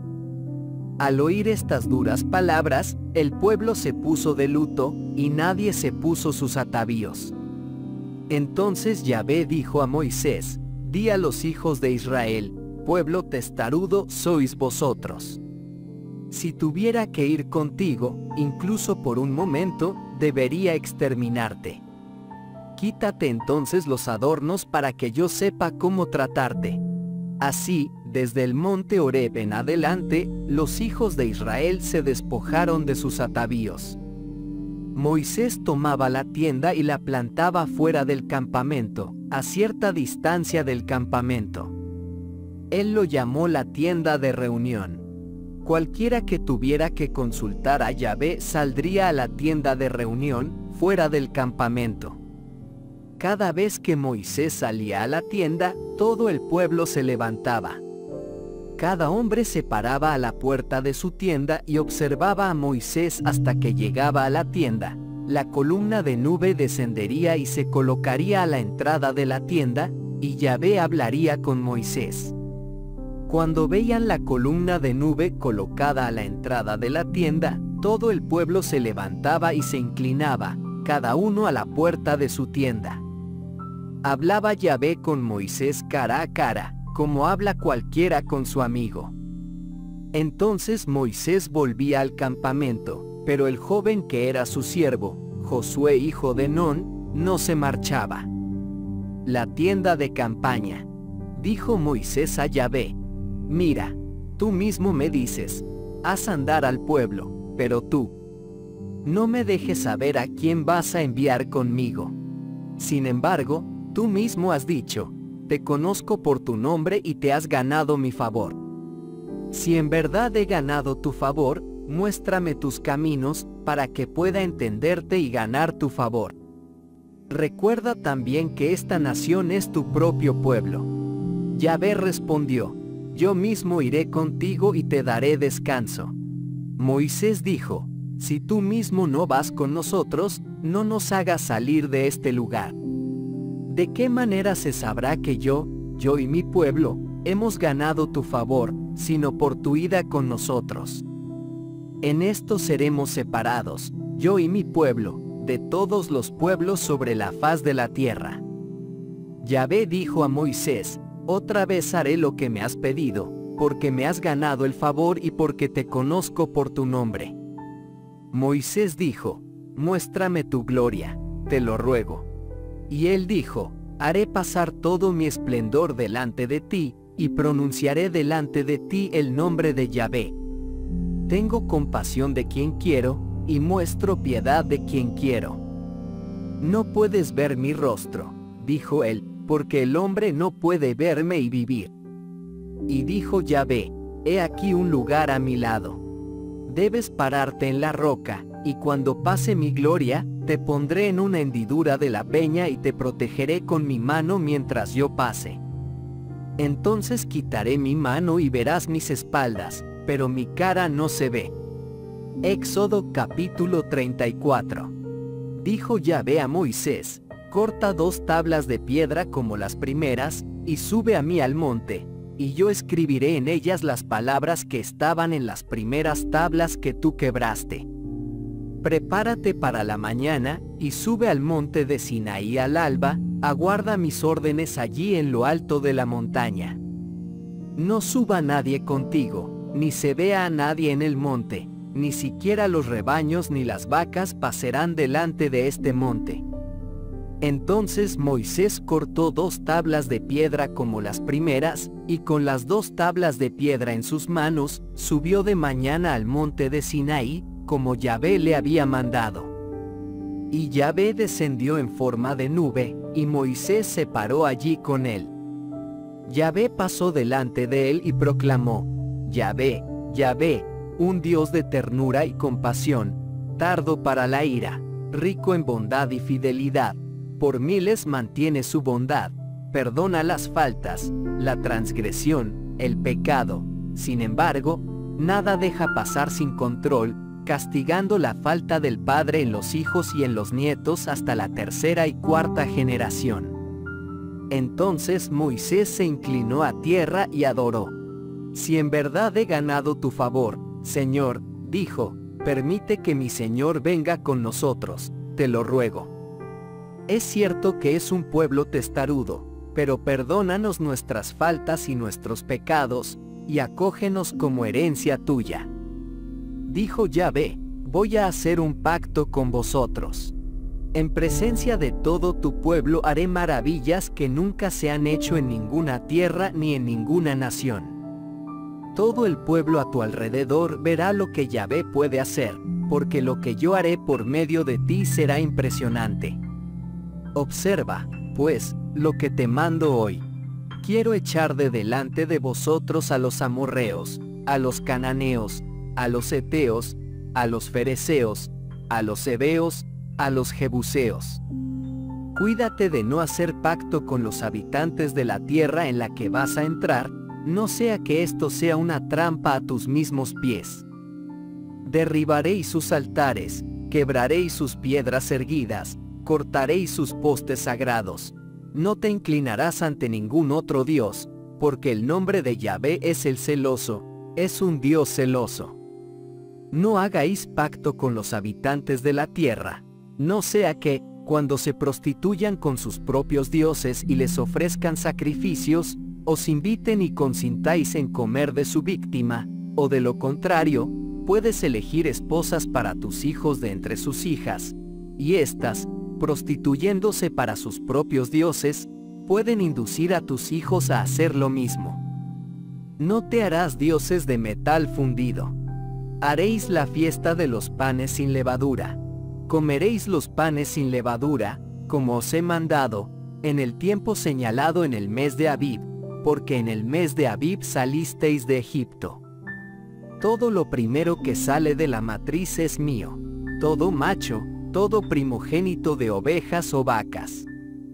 Pero el asno primogénito lo redimirás con un animal de tus rebaños. Si no lo redimes, debes romperle el cuello. Debes redimir a todos los primogénitos de tus hijos. Y nadie debe venir ante mí con las manos vacías. Seis días trabajarás, pero el séptimo día descansarás, incluso en tiempo de arado y de siega. Haréis la fiesta de las semanas, de las primicias de la siega del trigo, y la fiesta de la cosecha al final del año. Tres veces al año todo tu pueblo se presentará delante del Señor Yahvé, el Dios de Israel. Cuando os haya desposeído de las naciones y extendido vuestros territorios, nadie codiciará vuestra tierra, si tres veces al año os presentáis delante de Yahvé vuestro Dios. La sangre de la víctima sacrificada para mí no la ofrecerás al mismo tiempo que ofreces los panes sin levadura, ni la víctima se ofrecerá en la fiesta de la Pascua para ser reservada para el día siguiente traerás lo mejor de las primicias de tu suelo a la casa de Yahvé tu Dios. No debe servir un cabrito en la leche de su madre. Dijo Yahvé a Moisés, pon por escrito estas palabras, porque son las condiciones del pacto que hago contigo y con Israel. Y estuvo allí con Yahvé cuarenta días y cuarenta noches, sin comer ni beber nada él inscribió en las tablas las palabras del pacto, las diez palabras. Cuando Moisés descendió del monte de Sinaí, mientras bajaba del monte, tenía Moisés las dos tablas del testimonio en sus manos, no sabía que la piel de su rostro estaba resplandeciente después de hablar con Yahvé. Y cuando Aarón y todos los hijos de Israel vieron a Moisés, la piel de su rostro resplandeció tanto que no se atrevieron a acercarse a él. Pero Moisés los llamó, y Aarón con todos los principales de la comunidad volvió a él, y les habló. Entonces se acercaron todos los hijos de Israel, y les transmitió todas las órdenes que Yahvé le había dado en el monte de Sinaí. Y cuando Moisés terminó de hablarles, puso un velo sobre su rostro. Cada vez que entraba en la presencia de Yahvé para hablar con él, Moisés se quitaba el velo hasta que salía.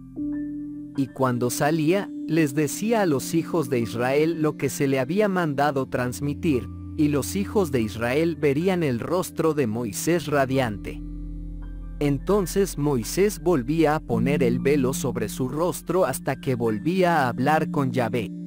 Éxodo capítulo 35 Moisés reunió a toda la comunidad de los hijos de Israel y les dijo, Estas son las cosas que Yahvé ha mandado que se hagan.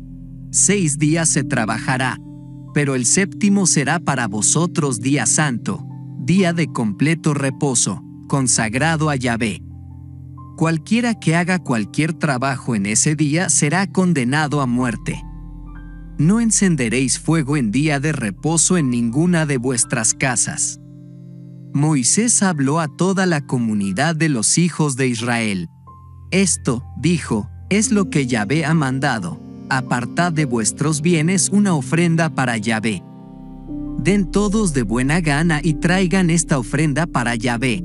Oro, plata y bronce, telas de púrpura, de tonalidad de violeta y rojo, telas de carmesí, lino fino, pelo de cabra, pieles de carnero teñidas de rojo y cuero fino, madera de acacia, aceite para el alumbrado, especias aromáticas para el crisma y para el incienso fragante, piedras de ónice y gemas para ser engastadas en efod y pectoral. Vengan todos los artífices de entre vosotros, y hagan todo lo que Yahvé ha mandado, el tabernáculo, su tienda y su cubierta, sus ganchos y sus marcos, sus travesaños, sus postes y sus basas, el arca con sus ejes, el trono de misericordia y el velo que lo oculta, la mesa con sus ejes y todos sus utensilios, y los panes de la ofrenda, el candelero para el alumbrado, con sus accesorios, sus lámparas y el aceite para el alumbrado, el altar del incienso con sus astas, el crisma, el incienso aromático y la cortina para la entrada de la tienda, el altar del holocausto con su enrejado de bronce, sus pilares y todos sus utensilios, la pila y su base, las cortinas del atrio, sus postes, sus basas y la cortina de la puerta del atrio, las estacas del tabernáculo y del atrio, con sus cuerdas, las vestiduras suntuosas para el servicio del santuario, las vestiduras sagradas para el sacerdote Aarón, y las vestiduras de sus hijos para las funciones sacerdotales. Entonces toda la comunidad de los hijos de Israel se apartó de la presencia de Moisés. Y vinieron todos los que tenían corazón para dar, trayendo su ofrenda para Yahvé, para hacer la carpa de reunión, para todas sus funciones y para las vestiduras sagradas. Vinieron hombres y mujeres, todos dando de buena voluntad, trayendo broches, anillos, brazaletes, collares, objetos de oro de todas clases, todos los que habían hecho voto de oro a Yahvé. Todos los que tenían telas de púrpura, de violeta o de rojo, telas de carmesí, lino fino, pelo de cabra, pieles de carnero teñidas de rojo o cuero fino, las traían. Todos los que podían contribuir para la colecta de plata y bronce trajeron su ofrenda para Yahvé. Y todos los que tenían madera de acacia, buena para cualquier trabajo que había que hacer, la traían. Todas las diestras se pusieron a hilar y trajeron telas de púrpura, tonalidades de violeta y carmesí, telas carmesí y lino fino de lo que habían hilado. Todas las mujeres voluntariamente usaron su habilidad especial e hilaron el pelo de las cabras. Los principales trajeron piedras de ónice y piedras preciosas para ser engastadas en el efod y el pectoral, y las especias aromáticas y el aceite para el alumbrado, para el crisma y para el incienso fragante todos los hombres y mujeres cuyo corazón los impulsaba a contribuir para toda la obra que Yahvé había mandado hacer por medio de Moisés, los hijos de Israel trajeron su ofrenda a Yahvé. Dijo Moisés a los hijos de Israel, Mirad, Yahvé ha señalado a Besalel hijo de Uri, hijo de Jer, de la tribu de Judá. Lo llenó del Espíritu de Dios y lo dotó de habilidad, percepción y conocimiento para toda clase de oficios, para el arte de diseñar y trabajar en oro, plata y bronce, para cortar piedras para engastar, para tallar en madera, para toda clase de artesanía. Y a él y a Ujoliab, hijo de Aizamac, de la tribu de Dan, les ha dado el don de la enseñanza. Los ha llenado de destreza para hacer todos los oficios de escultor, tejedor de damasco, recamador en telas de púrpura, de tonalidad de violeta y carmesí, en telas de carmesí y lino fino, o de tejedor común, son capaces de hacer trabajos de todo tipo y hacerlo con originalidad. Éxodo capítulo 36. Besalil, Aholiab y todos los artífices, a quienes Yahvé había dotado de habilidad y sabiduría para hacer todo lo necesario para la edificación del santuario, hicieron su obra tal como Yahvé había mandado. Entonces llamó Moisés a Besalel, a Aholiab y a todos los artífices, cuyo corazón Yahvé había dotado de destreza, y a todos aquellos cuyo corazón los impulsaba a ofrecerse para hacer la obra.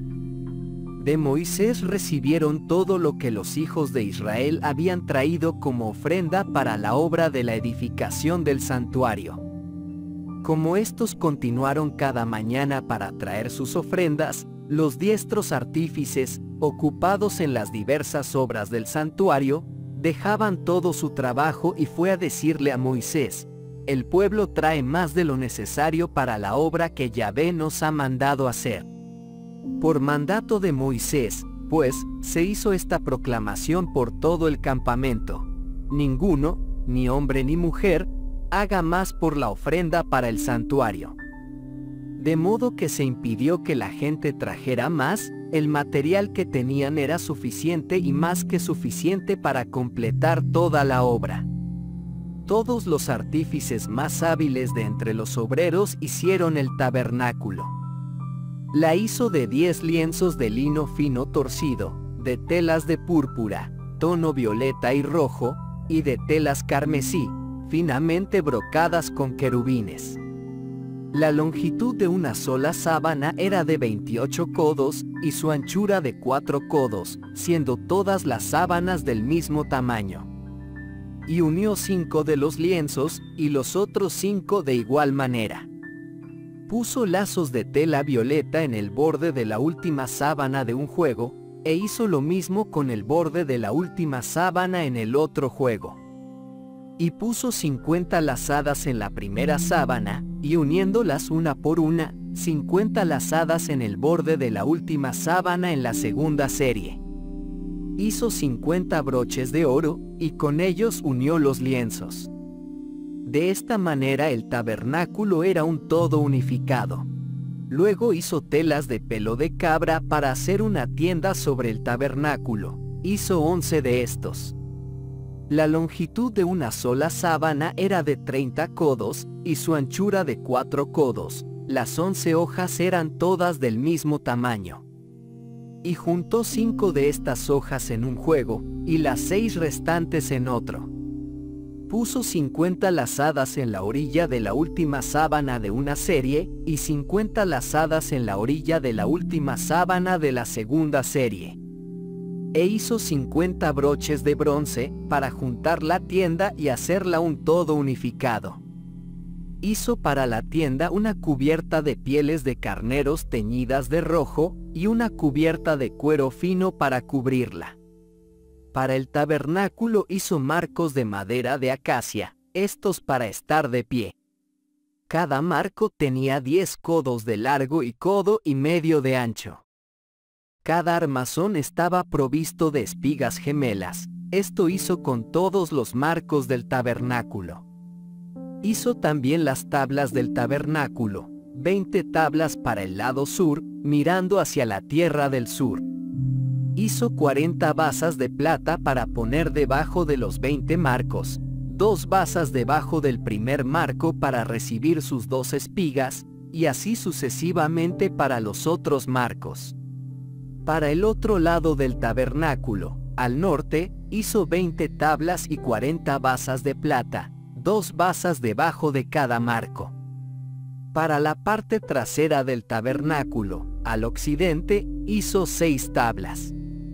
E hizo dos marcos para las esquinas detrás del tabernáculo. Estos marcos estaban acoplados en su extremo inferior y así en la parte superior, hasta el nivel del primer anillo, Esto lo hizo con los dos marcos que habían de formar las dos esquinas. Eran, pues, ocho tablones con sus 16 basas de plata, dos enchufes debajo de cada marco.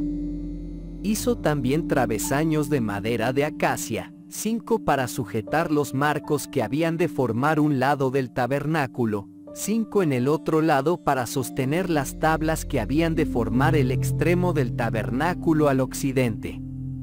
Hizo la barra del medio, fijada a la mitad, para que corriera de un extremo al otro. Recubrió de oro los marcos, y les puso argollas de oro para sujetar los travesaños que recubrió de oro. Hizo también el velo de telas de púrpura, matiz de violeta y rojo, de telas de carmesí y de lino fino torcido, con querubines hábilmente bordados. Para colgar este velo hizo cuatro postes de madera de acacia y los revistió de oro con ganchos de oro, y fundió para ellos cuatro basas de plata.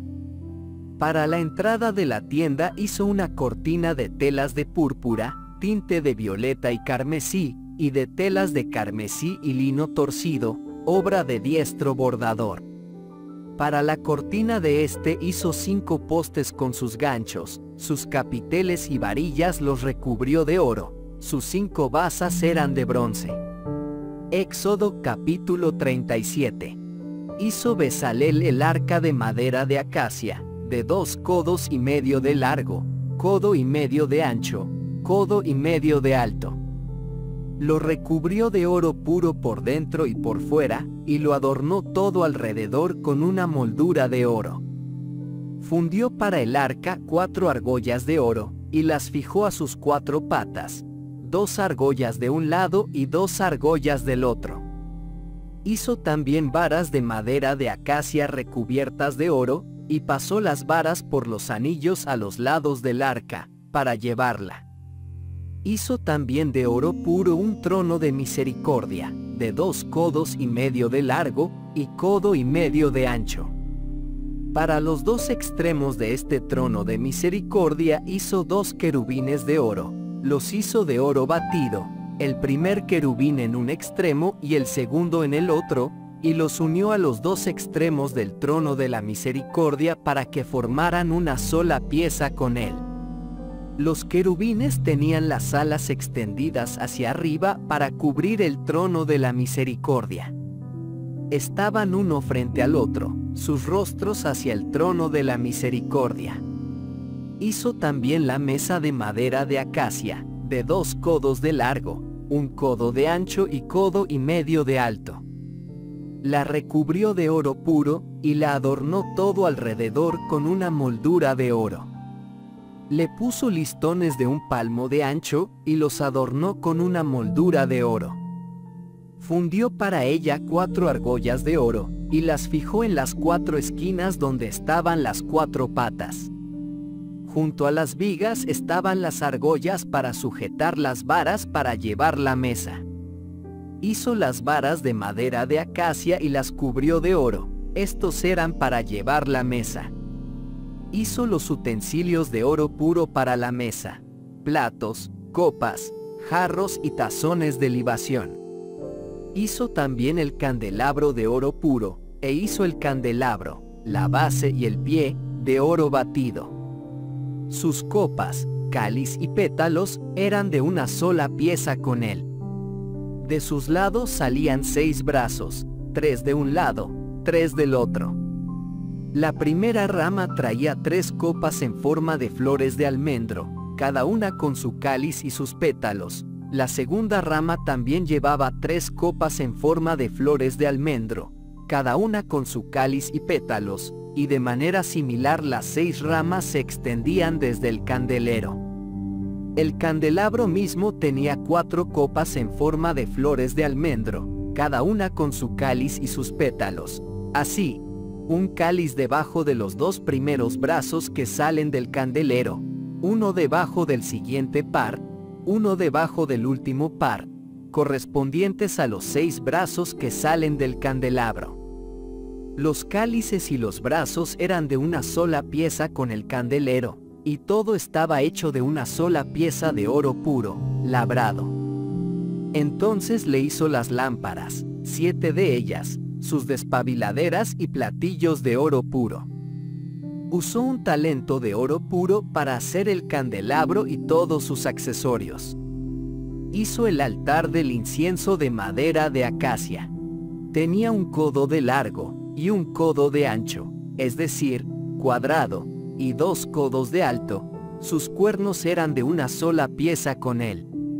Recubrió de oro puro su parte superior, sus paredes y sus cuernos, y lo adornó todo alrededor con una moldura de oro. Le puso dos argollas de oro debajo de la moldura en sus dos lados opuestos, para tomar las varas que se usaban para llevarlo. Estas varas las hizo de madera de acacia y las cubrió de oro. Hizo también el santo crisma y el incienso puro y fragante, mezclándolo como lo hacen los perfumistas. Éxodo capítulo 38. Hizo también el altar del holocausto de madera de acacia, un cuadrado de cinco codos de largo y cinco codos de ancho, y su altura de tres codos. En sus cuatro esquinas le puso cuernos. Los cuernos eran de una sola pieza con él, y lo cubrió de bronce. Hizo todos los utensilios del altar, cubas para la ceniza, palas, tazones, garfios, braseros, hizo todos los utensilios para el altar de bronce.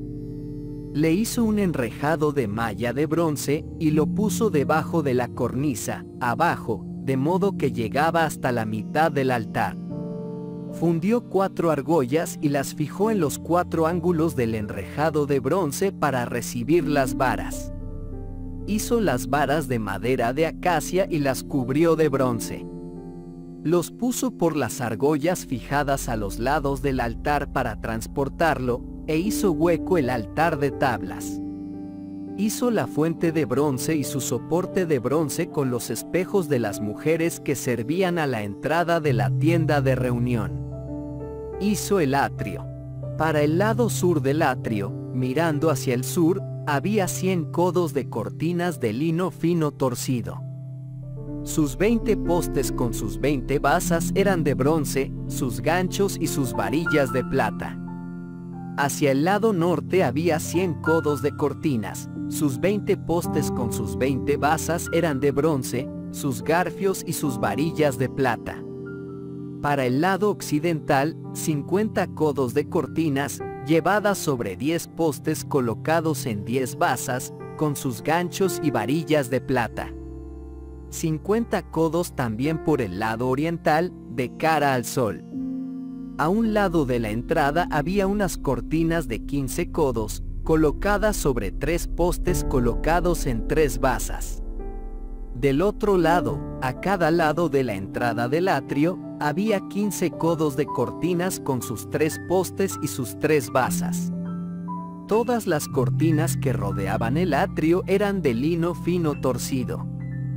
Las basas de los postes eran de bronce y sus capiteles de plata, al igual que el revestimiento de sus capiteles. Los postes del atrio tenían todas sus varas de plata. La cortina para la puerta del atrio, obra de diestro bordador, era de telas de púrpura, tinte de violeta y carmesí, de telas de carmesí y lino torcido.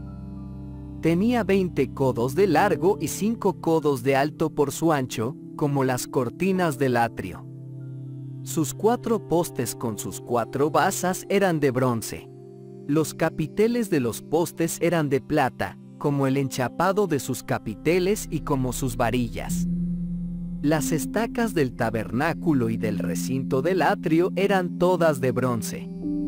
Esta es la cuenta de los metales usados para el tabernáculo, el tabernáculo del testimonio, la cuenta hecha por orden de Moisés, obra de los levitas bajo la dirección de Itamar hijo de Aarón, el sacerdote. Besalel hijo de Uri, hijo de Her, de la tribu de Judá, hizo todo lo que Yahvé había mandado hacer a Moisés.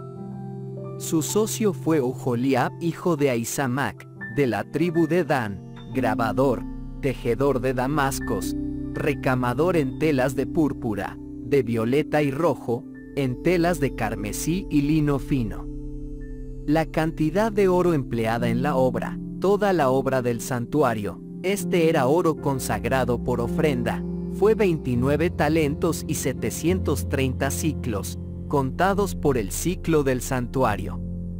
La plata recogida cuando se hizo el censo de la comunidad pesó 100 talentos y 1775 ciclos, contados por el ciclo del santuario, un beca por cabeza, o medio ciclo, contando según el ciclo del santuario, para todos los de 20 años arriba incluidos en el censo. Estos fueron 603.550. Los 100 talentos de plata se usaron para fundir las basas del santuario y del velo, 100 basas de los 100 talentos o un talento por basa. Con los 1775 ciclos hizo los capiteles de los postes, las armaduras de sus capiteles y sus varillas. El bronce consagrado para la ofrenda ascendió a 70 talentos y 2.400 ciclos. Con esto hizo las basas para la entrada de la tienda de reunión, el altar de bronce con su enrejado de bronce y todos sus utensilios, las basas del recinto del atrio, las de la puerta del atrio, todas las estacas del tabernáculo y todas las estacas del recinto del atrio. Éxodo capítulo 39. De telas de púrpura, violeta y carmesí, telas de carmesí y lino fino hizo vestiduras suntuosas para el servicio del santuario. Hicieron las vestiduras sagradas para Aarón, como Yahvé había mandado a Moisés. Hicieron el efod de oro, telas de púrpura, tonalidades de violeta y carmesí, telas de carmesí y lino torcido. Batían oro en láminas finas, y las cortaban en finas tiras para tejerlas en telas de púrpura, tonalidad de violeta y rojo, en telas de carmesí y en lino fino, como hace el tejedor de Damasco. Para el efod hicieron dos sombreras, unidas a él por sus dos extremos. El cinto tejido que la sujetaba formaba una sola pieza con ella, y era de una hechura similar. Era de oro, telas de púrpura, telas de violeta y carmesí, telas de carmesí y lino torcido, como Yahvé lo había mandado a Moisés. Hicieron piedras de ónice, engastadas en engastes de malla de oro, y grabadas, como se graba un sello, con los nombres de los hijos de Israel. Y pusieron las piedras en las sombreras del efod, piedras memoriales de los hijos de Israel, como Yahvé lo había mandado a Moisés. Hicieron el pectoral de brocado fino, de la misma hechura que el efod, de oro, telas de púrpura, matiz de violeta y carmesí, y lino fino torcido. Era cuadrado y lo doblaron en dos, de un palmo de largo y un palmo de ancho. En este pusieron cuatro hileras de piedras. Sarda, topacio, carbunco, para la primera fila, esmeralda, zafiro, diamante, la segunda fila, la tercera fila, jacinto, rubí, amatista, la cuarta fila, berilo, ónice, jaspe. Estos fueron montados en marcos de malla de oro. Llevaban los nombres de los hijos de Israel, y eran, como sus nombres, doce en número. Estaban grabados como sellos, cada uno con el nombre de una de las doce tribus. Para el pectoral hicieron cadenas de oro puro torcidas como cuerdas. Hicieron dos rosetones de oro y dos anillos de oro, y ataron los dos cordones de oro a las dos argollas que estaban en las esquinas del pectoral. Los otros dos extremos de las cuerdas los ataron a las dos rosetas, así estaban sujetos a las correas de los hombros del efod en el frente.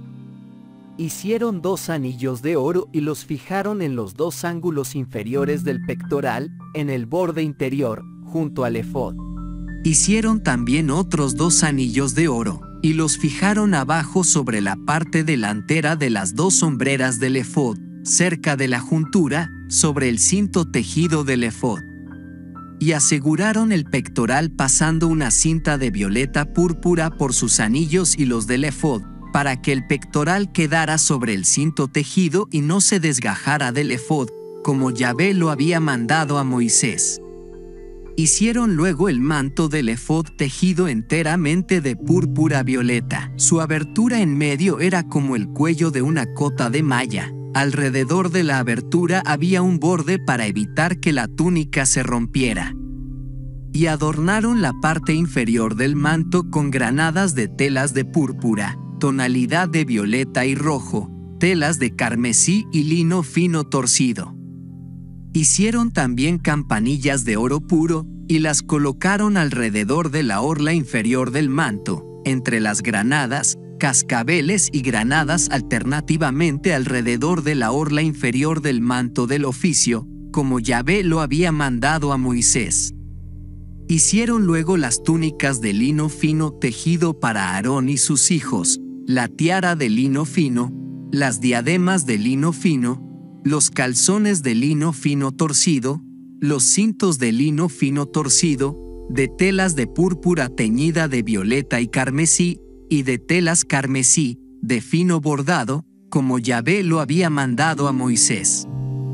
Hicieron también la lámina, la diadema santa, de oro puro, y grabaron en ella, consagrado a Yahvé, como graba un sello un hombre. Le ataron una cinta de púrpura violeta para sujetarlo a la parte superior de la mitra, como Yahvé lo había mandado a Moisés. Así quedó acabada toda la obra del tabernáculo, de la tienda de reunión. Al llevarla a cabo, los hijos de Israel habían hecho exactamente lo que Yahvé había ordenado a Moisés. Trajeron a Moisés el tabernáculo, la tienda y todos sus utensilios, sus ganchos, marcos, travesaños, postes, basas, la cubierta de pieles de carneros teñidas de rojo, la cubierta de cuero fino y el velo, el arca del testimonio con sus ejes y el trono de misericordia, la mesa con todos sus utensilios y los panes de la ofrenda, el candelabro de oro puro con sus lámparas, las lámparas que habían de encenderse en él, y todos sus accesorios, el aceite, también, para la luz, el altar de oro, el crisma, el incienso aromático, la cortina para la entrada de la tienda, el altar de bronce con su enrejado de bronce, sus pilares y todos sus utensilios, la palangana y su soporte, las cortinas del atrio, sus postes, sus basas, la cortina de la puerta del atrio, sus cuerdas, sus estacas y todo el mobiliario para el servicio en el tabernáculo, la tienda de reunión, las vestiduras suntuosas para el servicio del santuario, las vestiduras sagradas para el sacerdote Aarón, y las vestiduras para sus hijos, para las funciones sacerdotales. Los hijos de Israel habían hecho toda la obra tal como Yahvé lo había mandado a Moisés. Examinó Moisés toda la obra, y vio que lo habían hecho como Yahvé le había mandado. Y Moisés los bendijo. Éxodo capítulo 40. Habló Yahvé a Moisés, y dijo, El primer día del primer mes levantaréis el tabernáculo, la tienda de reunión, y colocad en ella el arca del testimonio, cubriéndola con el velo. Trae la mesa, y arregla lo que se ha de poner sobre ella trae también el candelero y pon sus lámparas. Coloca el altar de oro del incienso delante del arca del testimonio y levanta la cortina a la entrada del tabernáculo. Coloca el altar del holocausto frente a la entrada del tabernáculo, la tienda de reunión. Coloca la pila entre la tienda de reunión y el altar y llénala de agua. Levantad el recinto del atrio y colgaréis la cortina a la entrada del atrio.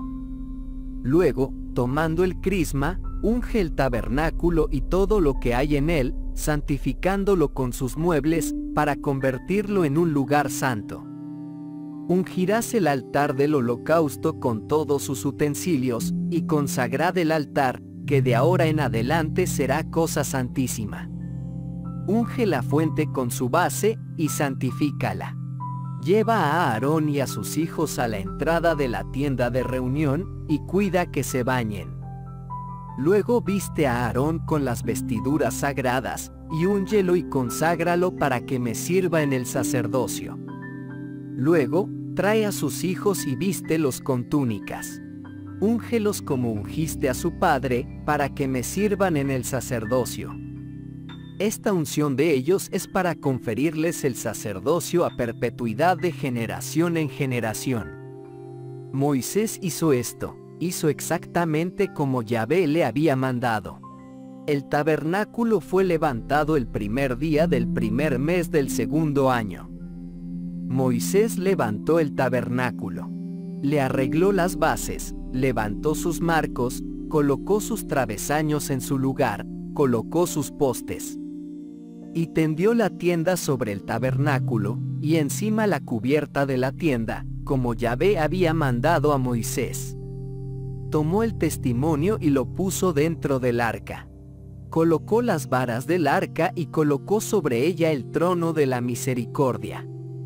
Y metió el arca en el tabernáculo, y puso el velo en su lugar, así protegió el arca de Yahvé, como Yahvé había mandado a Moisés puso la mesa en la tienda de reunión, al lado norte del tabernáculo, fuera del velo, y sobre ella dispuso los panes delante de Yahvé, como Yahvé había mandado a Moisés.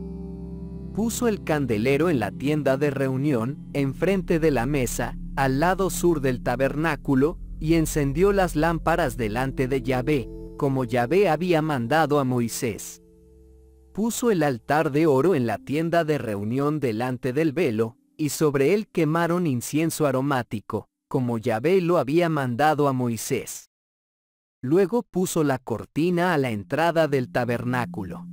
Puso el altar del holocausto a la entrada del tabernáculo, de la tienda de reunión, y sobre él ofreció el holocausto y la ofrenda, como Yahvé había mandado a Moisés y puso la pila entre la tienda de reunión y el altar, y la llenó de agua para las abluciones. Esto era para que Aarón y sus hijos se lavaran las manos y los pies. Siempre que entraban en la tienda de reunión o se acercaban al altar, se lavaban, como Yahvé había mandado a Moisés. Entonces Moisés levantó el atrio alrededor del tabernáculo y del altar, y colocó la cortina a la entrada del atrio. Así Moisés completó la obra. La nube cubrió la tienda de reunión y la gloria de Yahvé llenó el tabernáculo. Moisés no podía entrar en la tienda de reunión a causa de la nube que se posaba sobre ella y de la gloria de Yahvé que llenaba el tabernáculo. En cada etapa de su viaje, cada vez que la nube se levantaba del tabernáculo, los hijos de Israel reanudaban su marcha. Si la nube no se levantaba, esperaban y no marchaban hasta que lo hiciera. Porque la nube de Yahvé reposaba sobre el tabernáculo de día, y de noche resplandecía fuego en medio de la nube, a la vista de toda la casa de Israel. Y así fue en cada etapa de su viaje. Si disfrutaste de este contenido, únete a nuestro canal, suscríbete ahora, activa la campana de notificaciones y forma parte de nuestra comunidad. Gracias por tu apoyo y compañía en este emocionante viaje espiritual. Juntos, continuaremos creciendo en fe y compartiendo el amor de Dios con el mundo. Nos vemos en el próximo video. Bendiciones para todos.